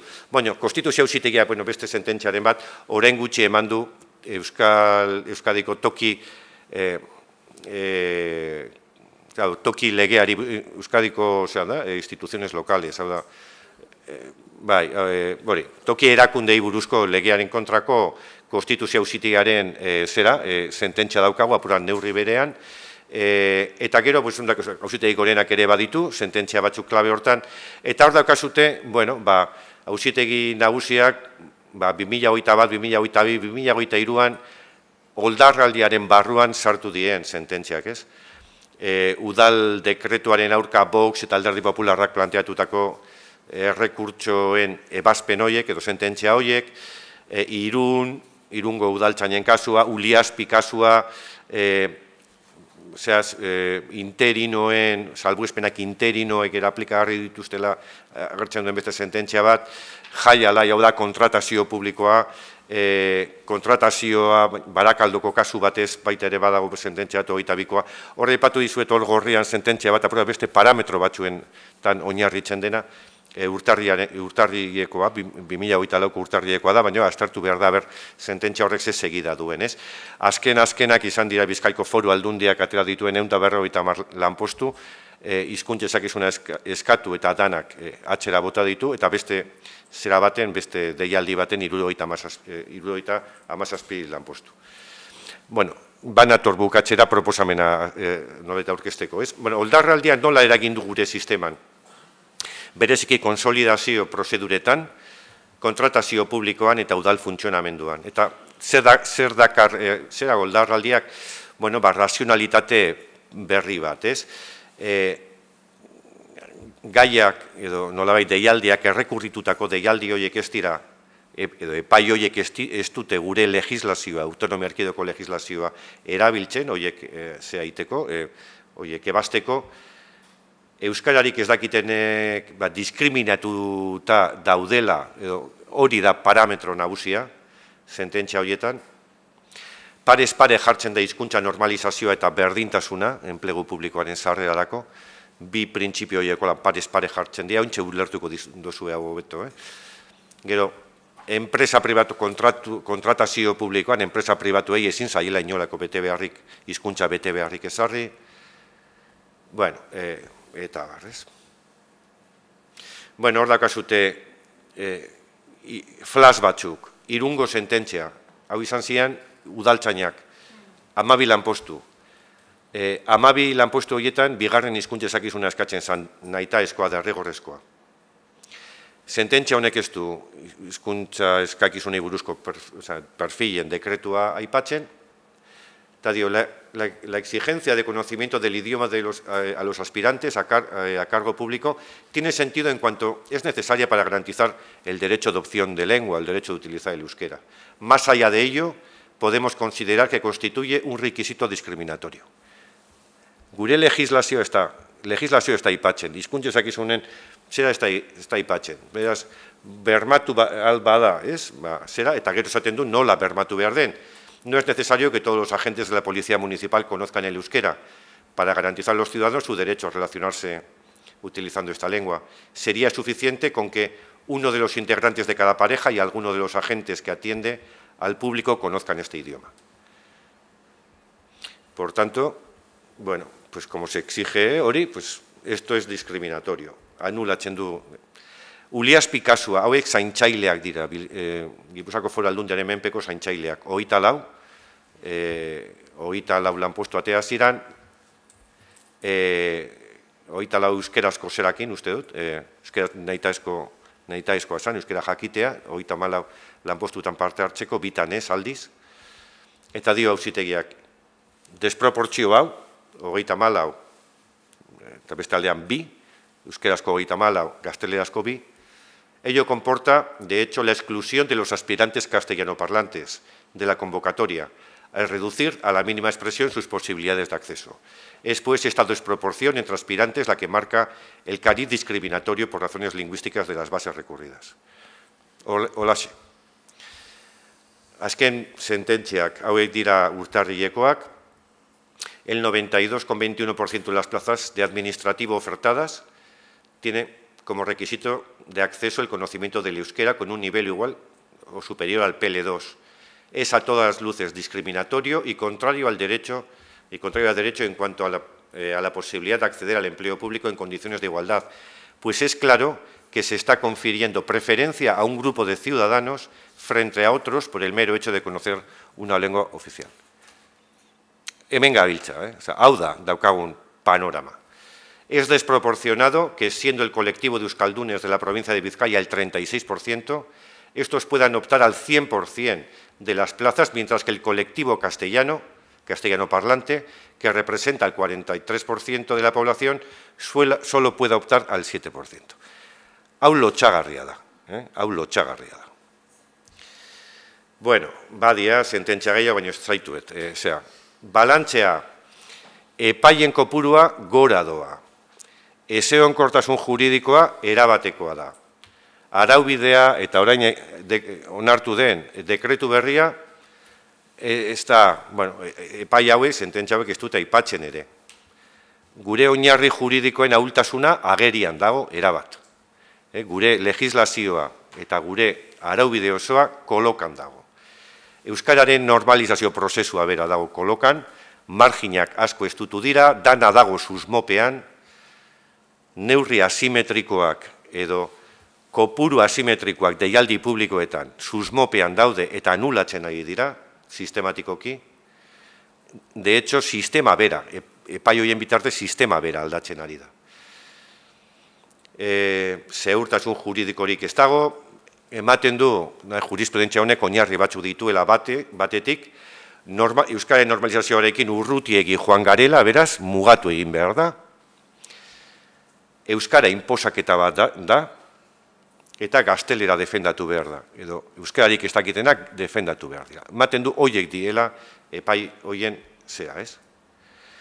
Beraz, tresna juridiko berrien beharra agerikoa da, eta horta da dator ondorengo proposamena. Esan bezala, txillardegi gogoetagunean, egindako hausnarketa baten ondorioz, ba, hau da hemen planteatzen dena. Planteatzen dena da eredu berri bateruntz abiatzea. Bai, zarbidean, bi hizkuntza ofizialen ezagutza orokortuz, bai? Baino, aplikazioan, e, sistema hau e, malgutzeko bideak ezarriz hau da, errealitate soziolinguistikoen arabera, ba, egokitu, e, egokituz. Hau da, e, Euskararen ezagutza eta gazteren ezagutza naita eskoa jarri. E, zera, e, administrazio publikoaren zarbiderako, baino printzipio nagusi hori malgutzeko mekanismoak ezarri. Nolabait, egungo sistema, e, sistemaren funtzionaltasuna aldere, alderan txizkatuko lukeen sistema izango litzake. Momentu honetan, Euskara ze postutan naita izango den, hori administrazio bakoitzak esarri behar du, sistema, proposatu daiteken sistemak, proposatuko luke justo alderantzizkoa. Lanpostu guztietan euskara nahitaezko izango da, baina administrazioek, administrazioek bide emango zaie salbuespenak ezartzeko. Bai? Hau egiteko, ba, bueno, bide bikoitza izango litzateke, e, hemen bueno, proposatu, proposatzen dena, batetik, legegintza ekimen puntual bat e, egitea, e, da, e, gakoetati bat, hau da, Euskal enplegu publikoaren legearen aldaketa puntual bat, proposatuko litzateke, batetik, izan bezala, funtzio publikorako sarbidean, bizkuntza ofizialen ezagutza orokortuz. Galizian edo Katalunian aplikatzen den sistema e, gurera ere ekarriz. Beti ere, lanpostu bakoitzak duen funtzioetara egokitutako hizkuntza maila eh? izango litzake. Baina, eta bestetik, administrazio publikoei bide eman, emango litzaieke, arau orokorrori salbuesteko, inguru abar, soziolinguistikoak edo hizkuntza plangintzarako tresnetan zehaztutako beste irizpideak kontutan hartuta. Salbuespenak ezartzeko muga, nolabait, derrigortasun indizearen aplikazioaren emaitza izango litzateke. Bai? E, Funtxean beraz, gauzak ez liateke errotik aldatuko, baina printzipioetan erabat, eh? printzipioetan erabat. Beraz, salbuespen hori sartzeko, salbuespen hori sartu beharko balitz, ba, administrazioa frogatu beharko luke, edo nola justifikatu beharko luke, segaitik Euskara ez den eskatzen baldintza modura. Ez? E, eta gero baita ere, ba, bueno, pues, proposatzen dena da, Euskararen araudia eguneratzeari buruzko ba, ausnarketa, gizarte ausnarketa bat egin behar dela, eta eztabaida horriekin, ez? Batetik, ba, bueno, estatus politiko berri baten esparruan, ez? Euskararen nolait, estatus politiko ere e, hori e, hausnarketa hori planteatu beharko litzake, eta gero, bueno, ba, Euskararen legea, Euskararen normalizaziorako legearen esparru horretan eta testu inguru horretan ere hausnarketa bat egin beharko litzateke egokitzeko, gaurkotzeko, ez? E, zera, ez, ba, gure legislazio. Hau da, beraz, bueno, pues hemen, eh, hausnarketa baten ondorioz, ba, bueno, pues, eh, ba, proposatzera, edo proposatzen dena, ez? Ba, eskerrik asko.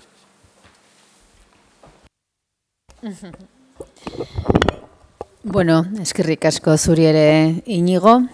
E, hausnarketa utzi digu eta, eta proposamena ere bai e, Kataluniako ereduak eta Galiziakoak e, nola baite, ez bai, Eba Ponsek eta bai, e, e, Carlosek ekarri diguten e, azalpenek, ez, bermatzen, bermatzen dute, ez, e, proposamen e, honen e, oinarria, beraz, hor dagoa, ba, botata dago, ez dakit, hemen zaudeten hoi, ba, zer, zer hoi hartzun, edo besterik gabe, bestela ere, beste e, galderarik, esatekorik.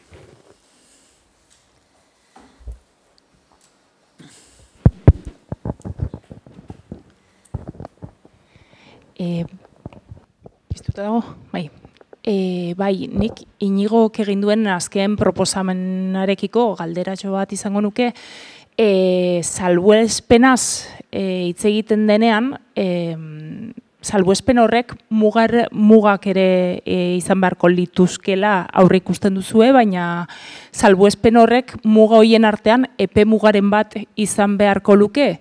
Ze, karo, e, pixka bat ez, e, bueno, kontuan izan da egun dugun egoera, e, salbuespen izan daitezkeen lanpostu kantitatea handi batekin aurki gaitezke, e, batik bat argudiatu dezaketelako agian herritarrarekin harreman zuzena edo lehiatilako harreman hori ez dutela, azken sentetziak ere hortik e, joan izan direlako. Duan ez dakit aurre ikusten duzu muga hoien barre, barnean e, epe muga bat ere aurre ikustearena. Bai, bueno, hori egia esan e, lantxeko dago, e, guzti hori lantxeko dago eta bueno, landuko da. E, bai, salbuespenak ezin daitezke, ezin daitezke nolabait, bueno, pues, e, behin betiko bihurtu hori, hori ala da. E, bueno, hemen egiten den planteamentua da nolabait orokortzea Euskararen ezagutza eta gero kasuan kasu justifikatu daitezken, bueno, ba, salbuespen horiek, e, bueno, pues, administrazio bakoitzak, ba, bueno, esar, esar ditzala, ez? E, gauza da, e, bueno, ba, momentu honetan, hortara, bueno, proposamenak egiten duen, hola, oinarrizko planteamentu izango litzateke, ba, gaur egun prezeptibitate indizetik, edo indizeak markatzen dituen e, zerak, ba, hortik, ba, hori muga orokor modura ezarri, eta baina bueno, astartzekoa da, eh? Bueno, ze noraino izan ditekeen eh hori, bueno, bai salbuespen hoiek gauza da naturala da Galizian, Katalunian eta Europan naturala da. Eh ba, nolabait ba hizkuntza ofizialen ezagutza naita eskoa izate administrazio publikoko zerbitzari izateko. Eta hori, hori ez da, hemendik kanpora, ba ez da, ez da zalantzan jartzen, ez? Apurat hori izango litzateke, hori izango litzateke ideia, ez? E, beraz hau, honek planteatzen duena, salbuizpenen kasu hori planteatzen duena, transizio baterako ba, bidea, ez? E, eta kasu hori ba, lotu beharko litzateke, ba, ba, kontseioak eta sindikatuen arteko, bueno, pues, zera, ez, ba, nolait, ba, itun horretan aipatzen den horrekin, ez, ba, bueno, epe muga batekin, eta erabateko euskalduntzea, ba, bueno, ba, epe muga baten barruan esartzeko, ba, kompromiso eta zera horrekin. Ez. Hori, bueno, lantzeko izango litzak.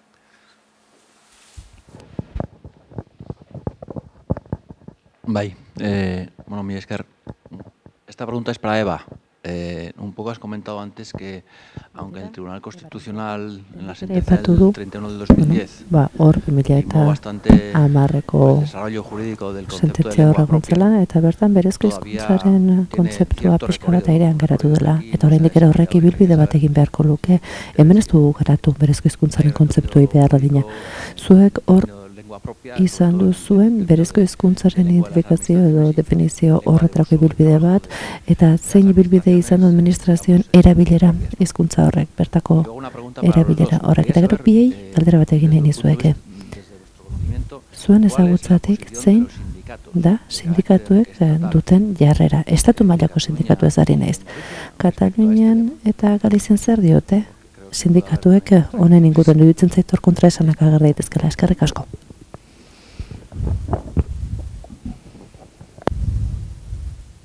que, que el ejemplo que se ha puesto de Galicia demuestra que Galiziaren ereduak dagoeneko erakusten du eredu hau oraindik ere indarren dagoela eta bere ibilbide egin duela guk gure politika hizkuntza politikako legea dago eta administrazioko hizkuntzak katalana izan beharko luke defektuz ohiko hizkuntza izan beharko luke beraz eta horrela interpretatzen da. Baina hemen galdetu da bono ze ondorio dakarren e, epai horrek hau da autonomia estatutuaren estatus horrek izan ere esaten zen estatutuan ezin zitekala bi hizkuntza ofizialen desorekarik sortu. Baina horrek ez du esan nahi, bertako administrazioan funtzionamentuak bertako hizkuntzak ez duela, zer eta hori, bueno, ba, orain arte ikusi dugu ez da, konstituzioak onartzen dituen marginen barruan sartzen da, estatutuko marginen barruan sartzen da interpretazio hori.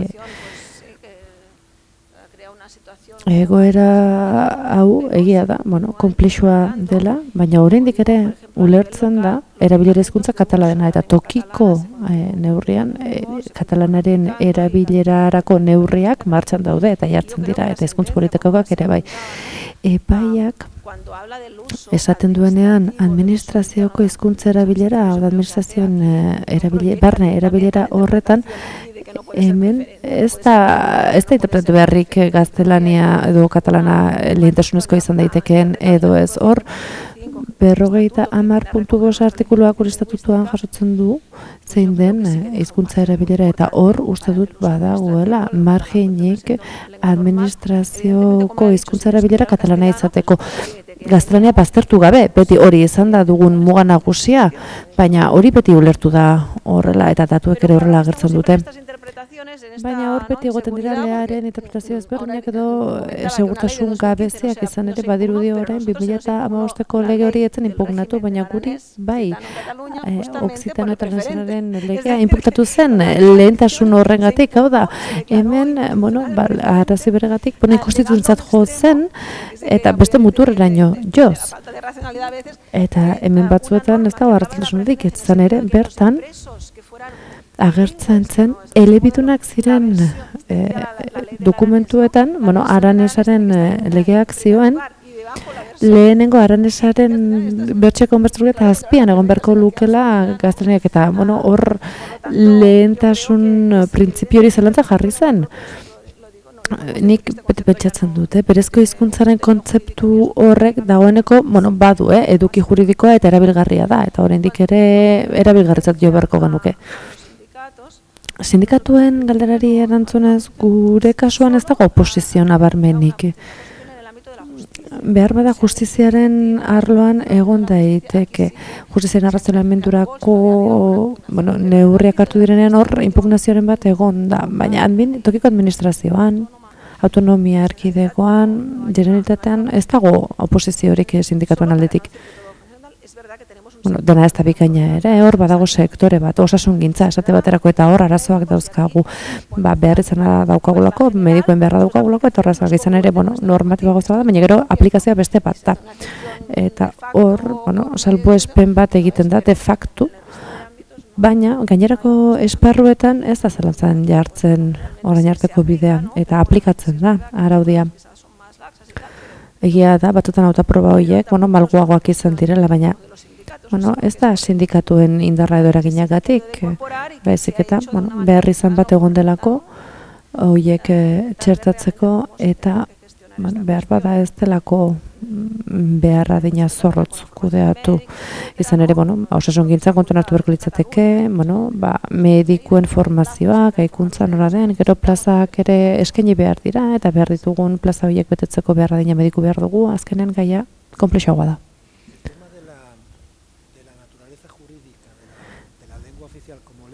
Hizkuntz ofiziala ez, berezko hizkuntza gisa konsideratzeko daukagun eh, arabu hori benetan ondo jaso beharrekoa da. Izan hori izatuk esaten du, konstituzioak onartzen du, eta berezko hizkuntza ofiziala da, eta berezko mm, bueno, ba, eskuntza batzuk ematen dizkio. Galizian hori ikusirik, bueno, ba, oraindik ez da, ez da zelantzan jartzen. Bueno, akoruñako alkate batek, pako batketak behar badago arko duzio, pero beti esaten zuen toponimoa la koruña idazten zuen etengabe. Mm, gure araudiak bueno, ba, galegoa bertako berezko hizkuntza e, hori ematen dio nizera horregatik bat oponemu guztia galizera zidazten diren edo hori da gutokagun araudia. Guk ez dauzkagu biak lakuruña eta akuruña. Guk akuruña idazten dugu berezko hizkuntza horrek eskaintzen digun eskumen horren arira. Behar bada, alkate batek horri kontra egin izan dio, kontra egin izan dio hauzi politiko bihurtzeko. Alde eta guztiz ero horrendik mantentzen dugu lehentasun hori, baina kezkak ere badauzkagu. Izan ere alderdi popularrako hainbat hautagai hasi dira honi bueltak ematen eta pentsatzen gaztelania Galiziako berezko hizkuntzare badela kontsideratzen. eta hor kontxontxo bati aurka egiten hasi dira estatutuko kontxontxo bati. eta da presidenteak bera ere hasi da ideia honi bueltak ematen bere kanpainan nolabait bueno ba, sektore batzuk erakartzeko edo box babestu ezaketen sektore batzuk bere ganatzeko. Izan ere Galiziako alderri popularrak badu interesik box bertan sartzeko. Eta ondo ari dira momentuz baina horretarako euren diskursoa edatu behar dute eta bertan onartutako akordio batzuk aurtsi beharko dituzte. Eta ikuspuntu juridikotik gure gremioan bentsat berezko hizkuntzen gai honek gure ustez badu oraindik ere ibilbiderik guk lortutako ibilbidearen gehiago. Izan dezake izan ere bertan bueno berezko hizkuntza hori ondo ulertu behar da eta bueno, hori akurriñako ordenantzan bertan ere txertatu genuen.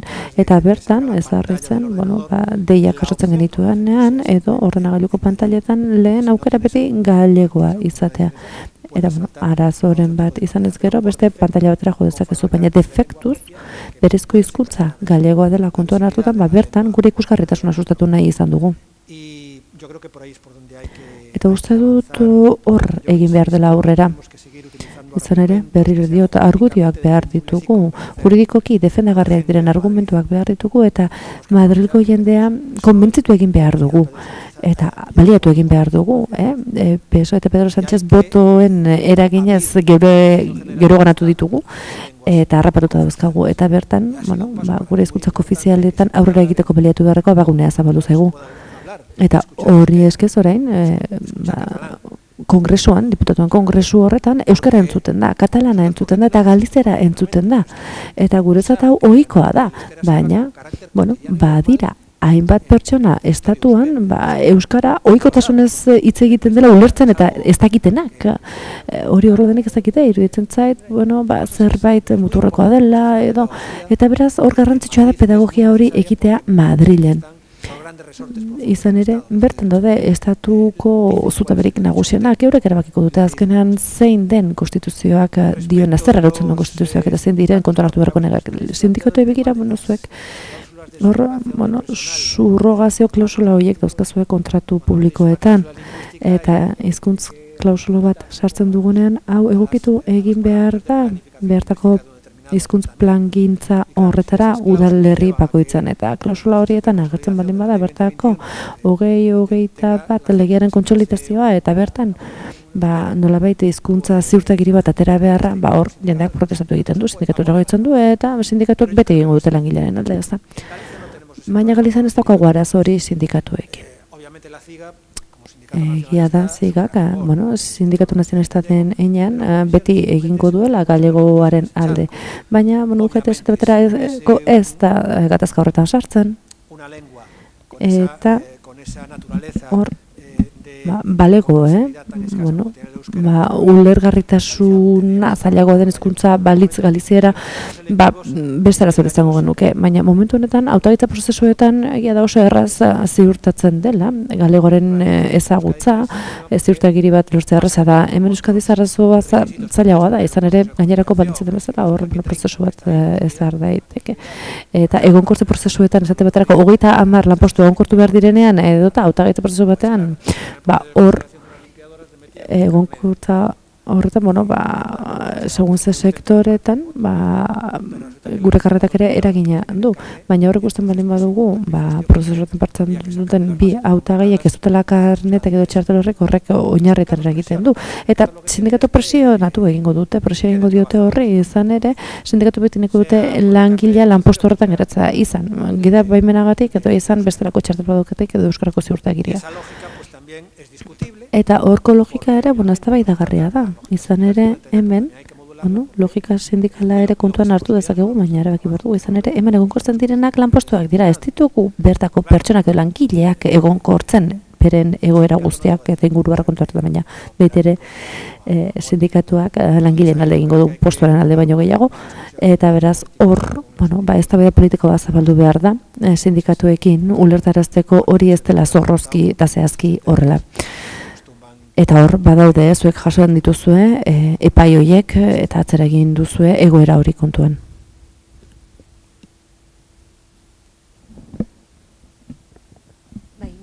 hori galdetu nahi nioke, agian jakina da, eta ez jakintasunetik da galdera. Bai Galizian da, bai Katalunian, aipatu dute e, hizkuntza propioa dela e, euren, bueno, bertako hizkuntza eta ondorioz e, administrazioan hori dela e, lehentasuna. Hori Euskal Autonomiare, Autonomia Arkidegaren kasuan ez da gertatzen?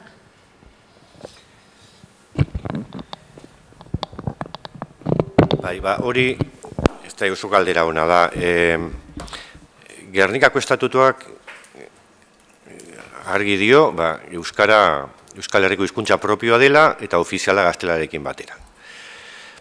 Gauza da, Katalunian hizkuntza propioari garapen juridiko bat eman zitzaiola. Garapen juridiko bat eta eragin juridiko batzuk e, eh, ateazian hortik, ez? Ba, zea, ba, bueno, no, erabilira eh, normaleko hizkuntza izango dela eta barrez, Galizia nortik ere ez, ba, jo dute gure kasuan Euskararen hizkuntza propio, izaera propio ez, edo berezko ez, berezko hizkuntza horri ez zaio inolako garapenik eman, eta beraz, bueno, ba, ba ez dago.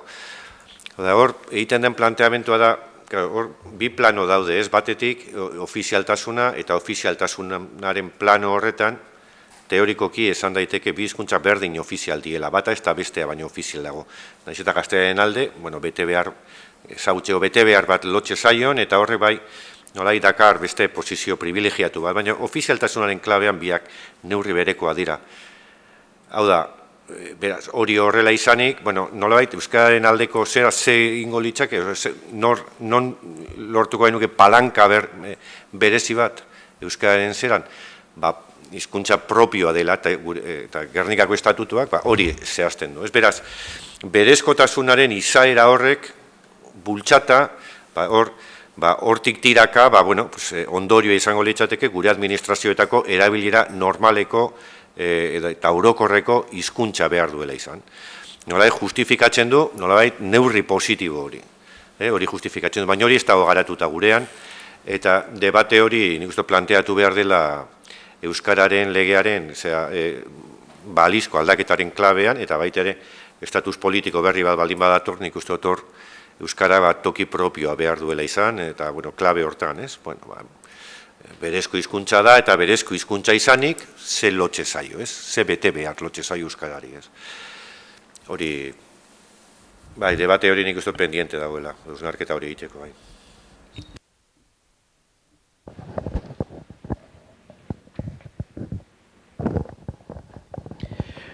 Bai, bueno, a ver, e, kontutxo batzuk. Bueno, alde batetik oso interesatea izan da goiza, nik uste, bueno, aparte Euskal Herriko egoeraz ezagutza ez aparte pues, Kataluniako eta Galiziakoaren ere beste perspektibat izatea, ba guretzat oso baliagarria dalako, ez?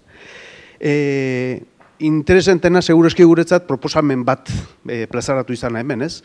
E, aipatzen zuen saioaren hasieran idurrek aurretik egitetik aurrera egiterako bidean jarri behar dugula, eta nik uste honek bide ematen digula e, horretarako, ez?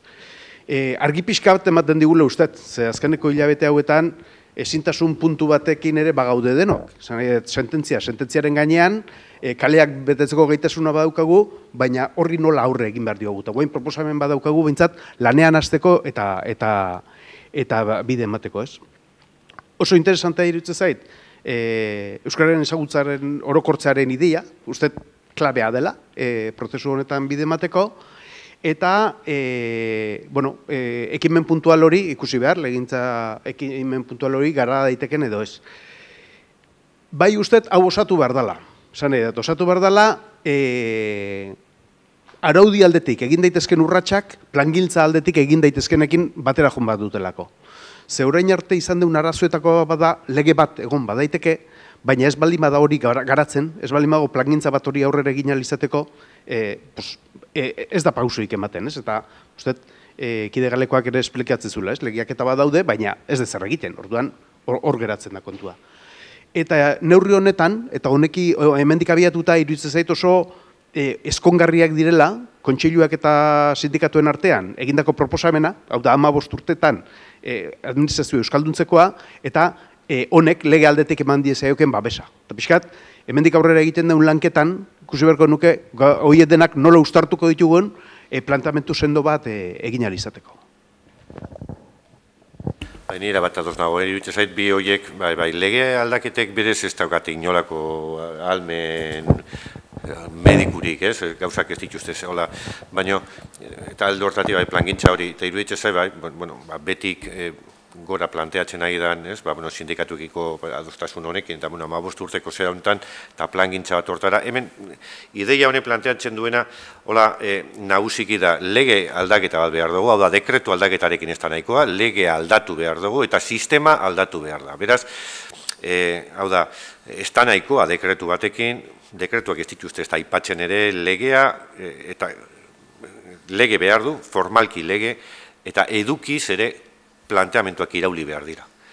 Ezin gaitzezke lan postuz, lan postu ibili justifikatzen zehaitik, larregi, gutxi ez ez ez. Orokortu eta, eta bueno, normalizazioarekin aurrea egin, ez? Eta gero, bueno, salbuespenena ulertzen du, hori nik uste pentsatzekoa dela, eh? pentsatzekoa dela. E, bueno, ba, baina, bueno, bai, aprobat hori, bai, plangintzaren nolabait komplementariotasuna erabat, horrekin erabat adoz. Bai.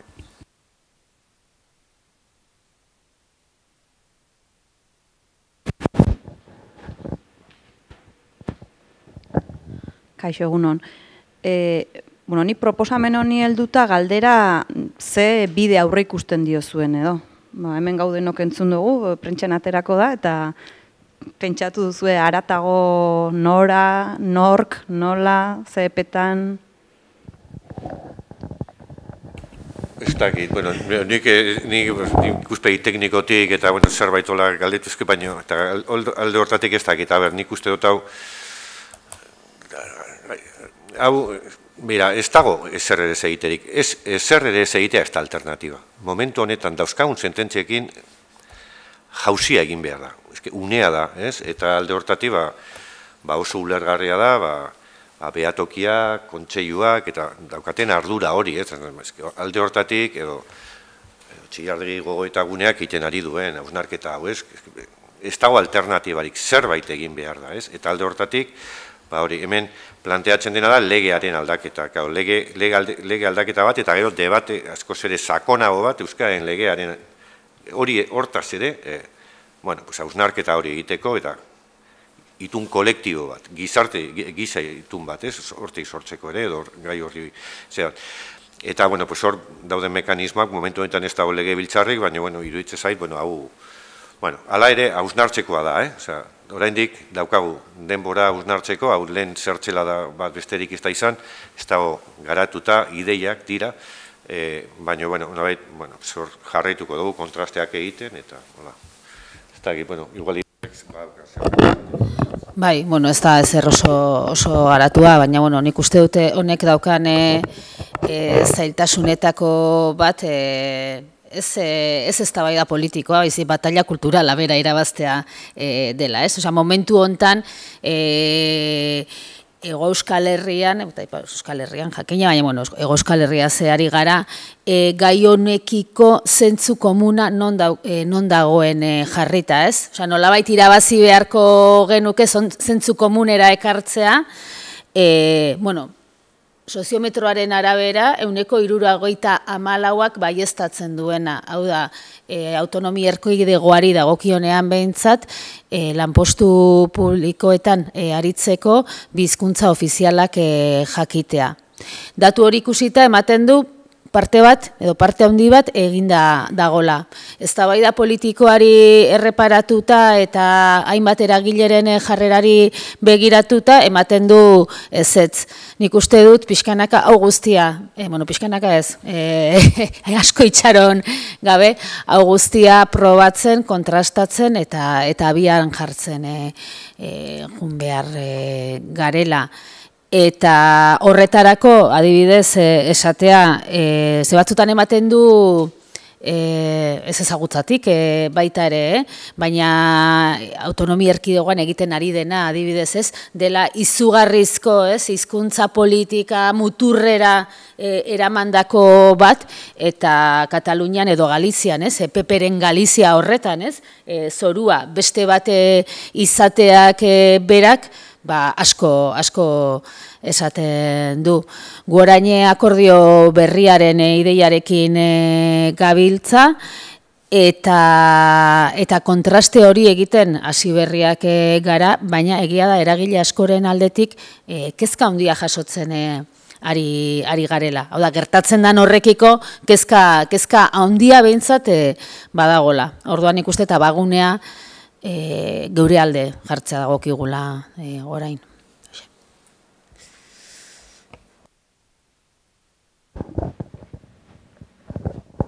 Bai, nik inu gontzako galdera, e, bueno, egitatik argudiatzen dena askotan proportzionaltasunaren ideia da, ez? Eta hor, pixkat jartzen dute fokoa, esateko hemen alako neurriak hartzeko proportzionaltasun hori ez dela bermatzen, e, alako proposaren bat aurrera ateratzeko ez dakit e, zuk zeuk ze aurrikuspen ikusten diozun epaitegitatik olako artikulatu bat iriberari ire bai esku hartzeko arriskoa ikusten den eta zenbaterainokoa jakinda aipatu den bezala alako oinarriak badudela lehendikan e, bai Galizian eta bai Katalunian. Ez dakit garai horretan olako neurriak hartu zirenean ze proportzionaltasun maila ematen zen ingurune haietan baina hori, ba, ez dakit aurrekari horrek lagundu diezaguken, edo aitzaki horrek berdin ere jarraitu du lezaken honi aurre iteko garaian, ez?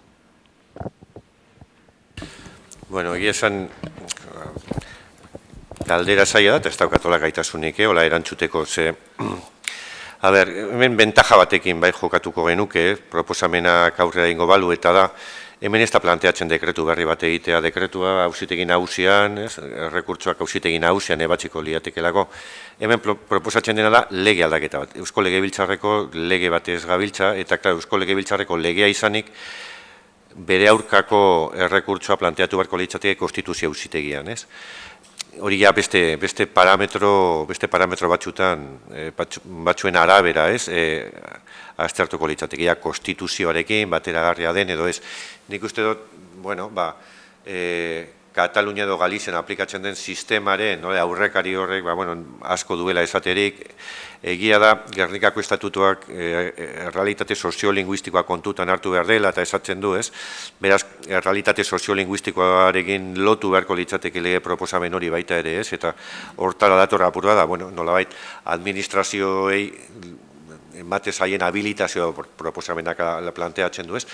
E, habilitazio hori, bueno, ba, e, bueno, bere zaugarri soziolinguistikoetara egokitzeko e, nolabait bete behar orokor hori, ez? Baina bueno, hemen planteatzen dena da terminoak iraultzea, estadia izan lanpostuz, lanpostu administrazioak ez dizala, ez ditzala izan ze lanpostutan izango den euskera naita eskoa, bezik eta denetan naita eskoa izan, eta batxutan, ba, egoeran arabera, ba, e, edo plangintzaren arabera, ba, neurri bat, jarri, epe bat jarrita, o dena dalakoa, ba, hori salbu estea, ez? Baina, baina baita ere buruan izanik eh, ba, proportzionaltasuna gehiago bilatu behar dela lanpostu horre dauzkan funtzioen, ez, funtzioekiko, ez, ez Katalunian egiten den bezala, ez, eta ez eh, horren beste ba, kopuroak olan kontutan hartuz.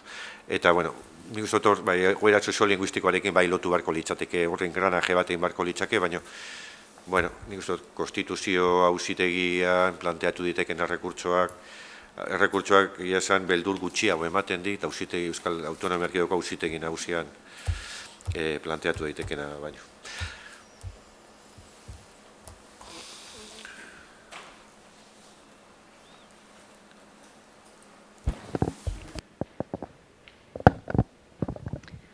Bueno, helenik eta bain eskerrik asko, e, Eba Carlos eta inigo, oso interesgarria izan da. Nik puntutxo bat ekarri nahi nun, igual beste ertz badelako, egu genero eta hizkuntza batzordean ibili garelako aztertzen, e, legeetan aditu izan gabe eta eta pixka bat gehiago idurrek aipatzen zuen agian e, bateia kulturalaren lekutik, baina agian baliagarri diren kontzeptu batzun erabilera, ez da, e, genero berdintasunean eta eta Eusko Jaurlaritzako legeak, e, lege berria gaineraz jasotzen du eta aurrekoak ere uste du baietz, esaten du noski generogatik e, inor ezin da diskriminatu administrazioari begira eta gainera administrazioa ez hori bakarrik ezin dula diskriminatu administrazioak baizik eta administrazioa dela e, generoen arteko berdintasunean eragiteko politikak martxan jarri behar dituena edo zein izan da saia. Berdin e, industria saia, berdin e, hizkuntza saia, berdin ez da gizer, ez? Orduan, guk egiten genuen hor traslazio bat pixka bat esaten alderantziz esan liteke ez da nahikoa administrazioak edo administraziotik e, euskal iztunak ez diskriminatzea baizik eta bere baitan euki barduen funtzioa da hizkuntzaren normalizazioan e, eragitea, bai, beraz horrek esan nahi du ba, politika propositiboak eta eta diskriminazio positiboa edo bueno, deitu nahi dugun bezala egin litekela, ez? Eba Ponsek esan du olako idea bat momentu batean, ez? Administrazioak ere normalizatzaile izan bardula, ez? Eh, decía Eva, creo, creo que te he entendido que decías que también que la administración también es un elemento importante, por supuesto, de la normalización, no simplemente de la no discriminación. discriminación. Estaba comentando que, eh, haciendo una comparativa, no ba, bueno, komparatiba bat egin jazen, ni ez naiz ez zuzen bidean abitu ez abokatua, baina genero berdintasun legeak jasotzen du Euskadin, en donde se habla de no ba, ez diskriminazioa aplikatuko dela genero kasuan, baina horretatik aratago administrazioak eduzen esparrutan berdintasun politikak jarri behar dituela martxan. Hau da, ez da nahikoa gure esparruan, industrien esate baterako ez diskriminatzea, baizik eta politika, berdintasun politikak abiatu jarri behar dira, abian eta hor klausul batu zehazten dira. Ez dakit hori aplikatu daiteken hizkuntzaren esparruan, nola ikusten duzuzuk?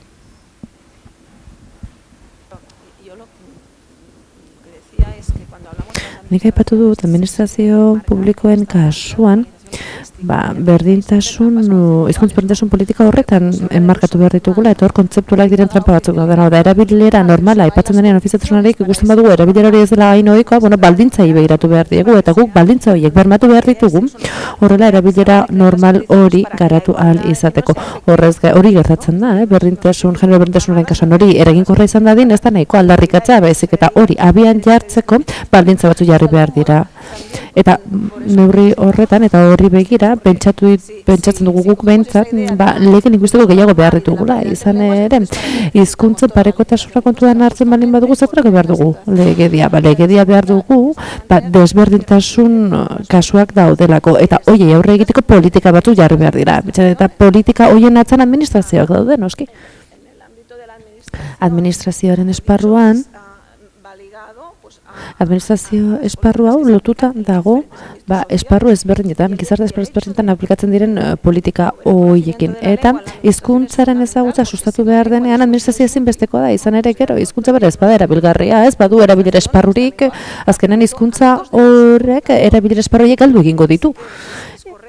Horregatik uste dut, ba, guk uh, zorrotz begiratu behar diegula, bertako trampa kontzeptu izan ere jurisprudentziak bera batzuetan hor kolokan jartzen ditugu, izan ere, bueno, ohiko erabilera behar bada ez da baina paldintza batzuk ezarri behar ditugu, erabilera hori edatztu ahal izateko, eta horretarako prozesu politiko zabalagoa behar ditugu, eta neurri positiboak jarri behar ditugu, diskriminazio positiboaren kontzeptu nire zait berezik gustatzen, baina iruditzen zait horrelako neurriak aplikatza ezinbestekoa dela, hoiek hobetuko dutelako hizkuntzen erabilera.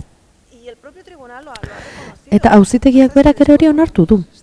Baina, bueno, gero hor jurisprudentzia barkatu oso batago atzetik eta bueno, argumentazio mugatu izan ohi du batzuetan, ba kasukadoa ere eta hor, bueno, ba eraikuntza kontzeptual zabalago bat behar du eta xehetasunetan ere sartzea ezinbestekoa da. Izan ere bariduri egitura hor dagoela, baina oinarriak orain ahuldu egin dira eta beraz hiperrindartu egin beharko ditugu. Eta guk ere momentu honetan planteatzen dugu, bueno, ni ez naiz e, e, gehiegi sartu, eh, hain xehetasunetan, baina egoera hau mantentzeak praktikan atzera pauso bat suposatuko du hizkuntza hauentzat badakigulako zein joera dauden, globalizazioa eta berreta barror daude. Eta hoiei aurre egin ba, politika, beharrezkoak diren politikak jarri behar dira martxan. Normaltasun hori indartzeko eta aurrera eramateko. Carlosek ere ez dakite zer gehitu nahi duen aspektu honetan, baina eruditzen zait hor berriro ere oinarriak sendotu behar direla.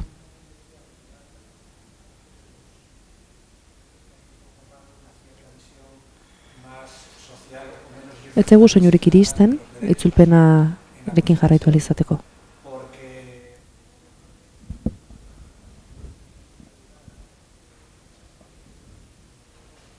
Soinu arazo bat dugu, eta ezin dugu jarraitu. Que logren que la igualdad bai. de los Or, grupos y las personas, politika publiko batzuk, los grupos en que se integran tenga que ser efectivo. Ba, eraginkortasunagoak izan daitezen, eh? eta hau, ba, botere publikoetzako mandatu bat, da, izan eskubidak ezin dira, geratu, nolabait, estatuaren tutoretzape batean, eta nun begiratzen den bakarra, bueno, berdintasun horretan, ba, zauririk ez zabaltza, bezik, eta beste ikuspuntu bat behar da. Konstituzio ere hor dago, baina zidiko konstituzionalak, bueno, bazter egin die, eh, sarritan hainbat kasuri. Eta hasiera batean egia da, diskriminazio positibo hori sustatzen zuela, baina gero perspektibo hori galduz joan da pixkanaka. Porque al final el derecho también es ideología. Izan ere, bueno, ba, zuzenbide bere ere ideologia bat da. Eta ezartzen ditugun lege horiek agertzen dute azkenean, ba, zein izan diren e, gure ikuspuntu ideologikoen eta gure borroka ideologikoien emaitza. Eta iruditzen zaitu orain atzera bide batean gaudela. Eta garai batean onartutako gako ideologiko eta juridiko batzuetan atzera egiten ari garela eta orain ba, kontrakarri egiten dira, gizarte eta iztunen, eta bueno, bertako pertsona guztien eskubide guztiak, eta badiru lehen estatuak bermatu behar zituela eskubide guzti horiek, bai norbanakoen eskubideak, bai eskubide kolektiboak ere, orain kontrakartzen ari direnak. Eta kontuan hartu behar dugu, izkuntzera bilera ez dela norbanakoren eskubide bakarra, izan ere, bueno, ba, bi iztunen arrean hor, ba, e, e, ulertez egintasun kasuak harta daitezke, baina hizkuntza eskubide kolektibo bat, eta horrela nartu behar da, eta batzu ez gustatu. Eta hemen, esan beharra daukat nik ere, atzera pausu horrekiko kezka daukadala. Izan ere, bat orain, bueno, ba, Espainiako estatua anitza den horretan, ba, izkuntzak, ez da politikoaren erdigunean jartzea, eta jendea berezin izatea, ba, botuak lortu izateko, ba, horrek eh, oso emaitza txarrak ekarriko izkigu, bide txarretik eramango gaitu. Eh, Eta ni zentzu horretan nahiko ezkorra naiz. Izan ere, dena daukagu, eh, gure mm, optimismo krantzian hori, gure ibilbide militar horretan, eh, militante barkatu horretan, baina ni berez eh, nahiko ezkorra naiz, eta horko atzoko mundu horri begira, Franzuak berak ere esaten zuen, eh, indarkire politikoko lehen kasuetako bat izan zela, Alemaniako alderdi nazionalistak bertako, laro gita mazazpiko aprilaren bosteko ordentzaren kontra, bertan badeni konderen kontra, bere izan zen Austro-Hungariako lehen ministroa, eta ordenantza bat egine izan zuen, honek, ordenantza linguistiko bat, bohemian, bertako funtzionariek, ba, alemanieraz gain, txekiera ere hitz egin ahal izan zezaten, baina horrek arazo bat zekarren, izan ere txekiarrek Alemaniako formakuntza gartzen zuten eskotan eskolan markatu txekiera, bueno, hori hizkuntza gutxi bezalako, baina alemaniarek ez zekiten txekieraz. Eta hor, bueno, alemaniarrak ezin ziren funtzionario izan erreforma horrekin. Hori gertatu zen, eta orain ere hori gertatzen da, hemen ertzaintzaren kasuetan, ez da? Ba, nola eskatuko diozu euskaraz ez dakien pertsona horiei ikasteko funtzionari izan nahi bat dute. Ba, haustean hori bera gertatu zen. Eta horrek, ikaragarrizko zalaparta sortu zuen, indarkeria politikoa zabaldu zen kaletan eta badeni konde honek Blasimir badeni bueno, ba, baztertu egin zen, izan ere lege horrek e, Austro-Ingariako lege hori bueno, urratzen zuen, eta bueno, gero, gero gertatu zen, badakizu behar bada horren evoluzioa zen izan zen, baina e, historiako ataloiek ere gogorarazi behar dira tarteka.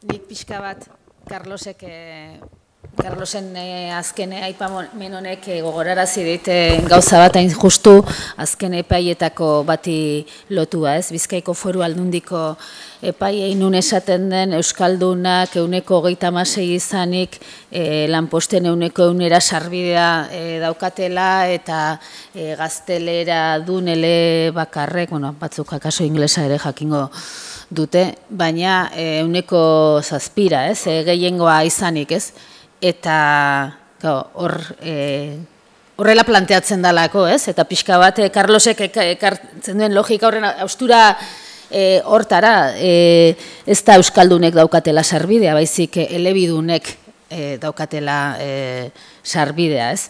Osa, askotan hitz e, hoiekin ere ze trampa egiten dizkiguten eta botuen arrantzalekuetan enola nola jokatzen duten. No estaba diciendo eh, un poco apoyándome en lo que en lo último que has traído que en, las, en una de las últimas eh, aipatzen nuen, bueno, azken epaietako batean. eh, eta ikuspegi politikoago batetik. eta nolabiteko austura sortzen ari dien arrakala edo austura hori baliatu nahian ba, azken eh, oldarraldi judizialanekin izan ere oldarraldia juridikoa da, baina politikoa eta mediatikoa ere bai, eta etengabe ikusten ari gara, ba, badirudela gu garela akordioak hausten ari garenak, eta bueno, epaietako batean adirazten da, inigok ere maigainan jarri du lehen, badirazten da, Euskaldunak,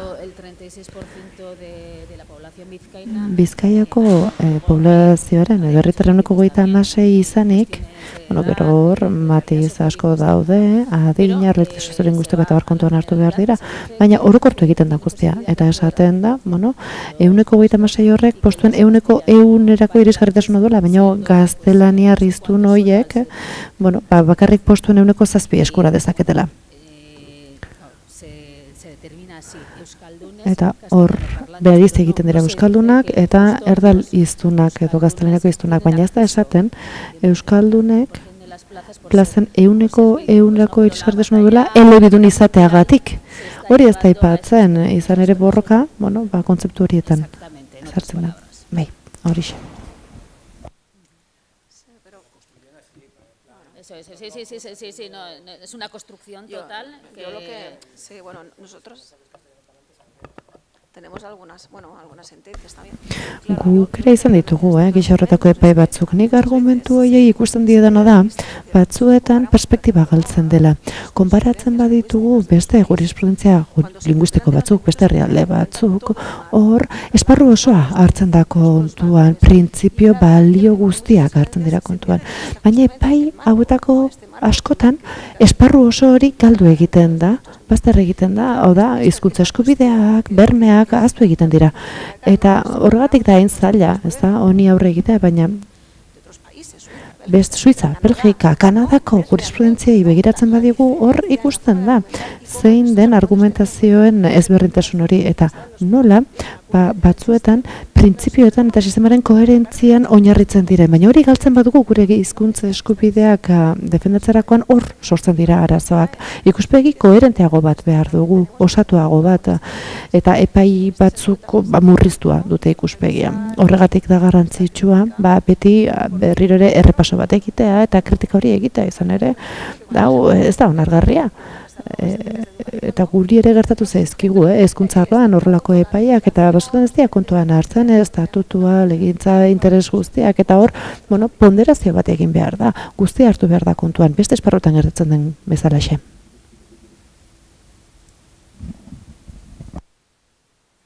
Bueno, ba, besterik ez bada, ba, eskerrik asko denoi, e, ereduak e, badauzkagu, ikasi dugu gaur ere pixka bat, eta proposamena ere badaukagu.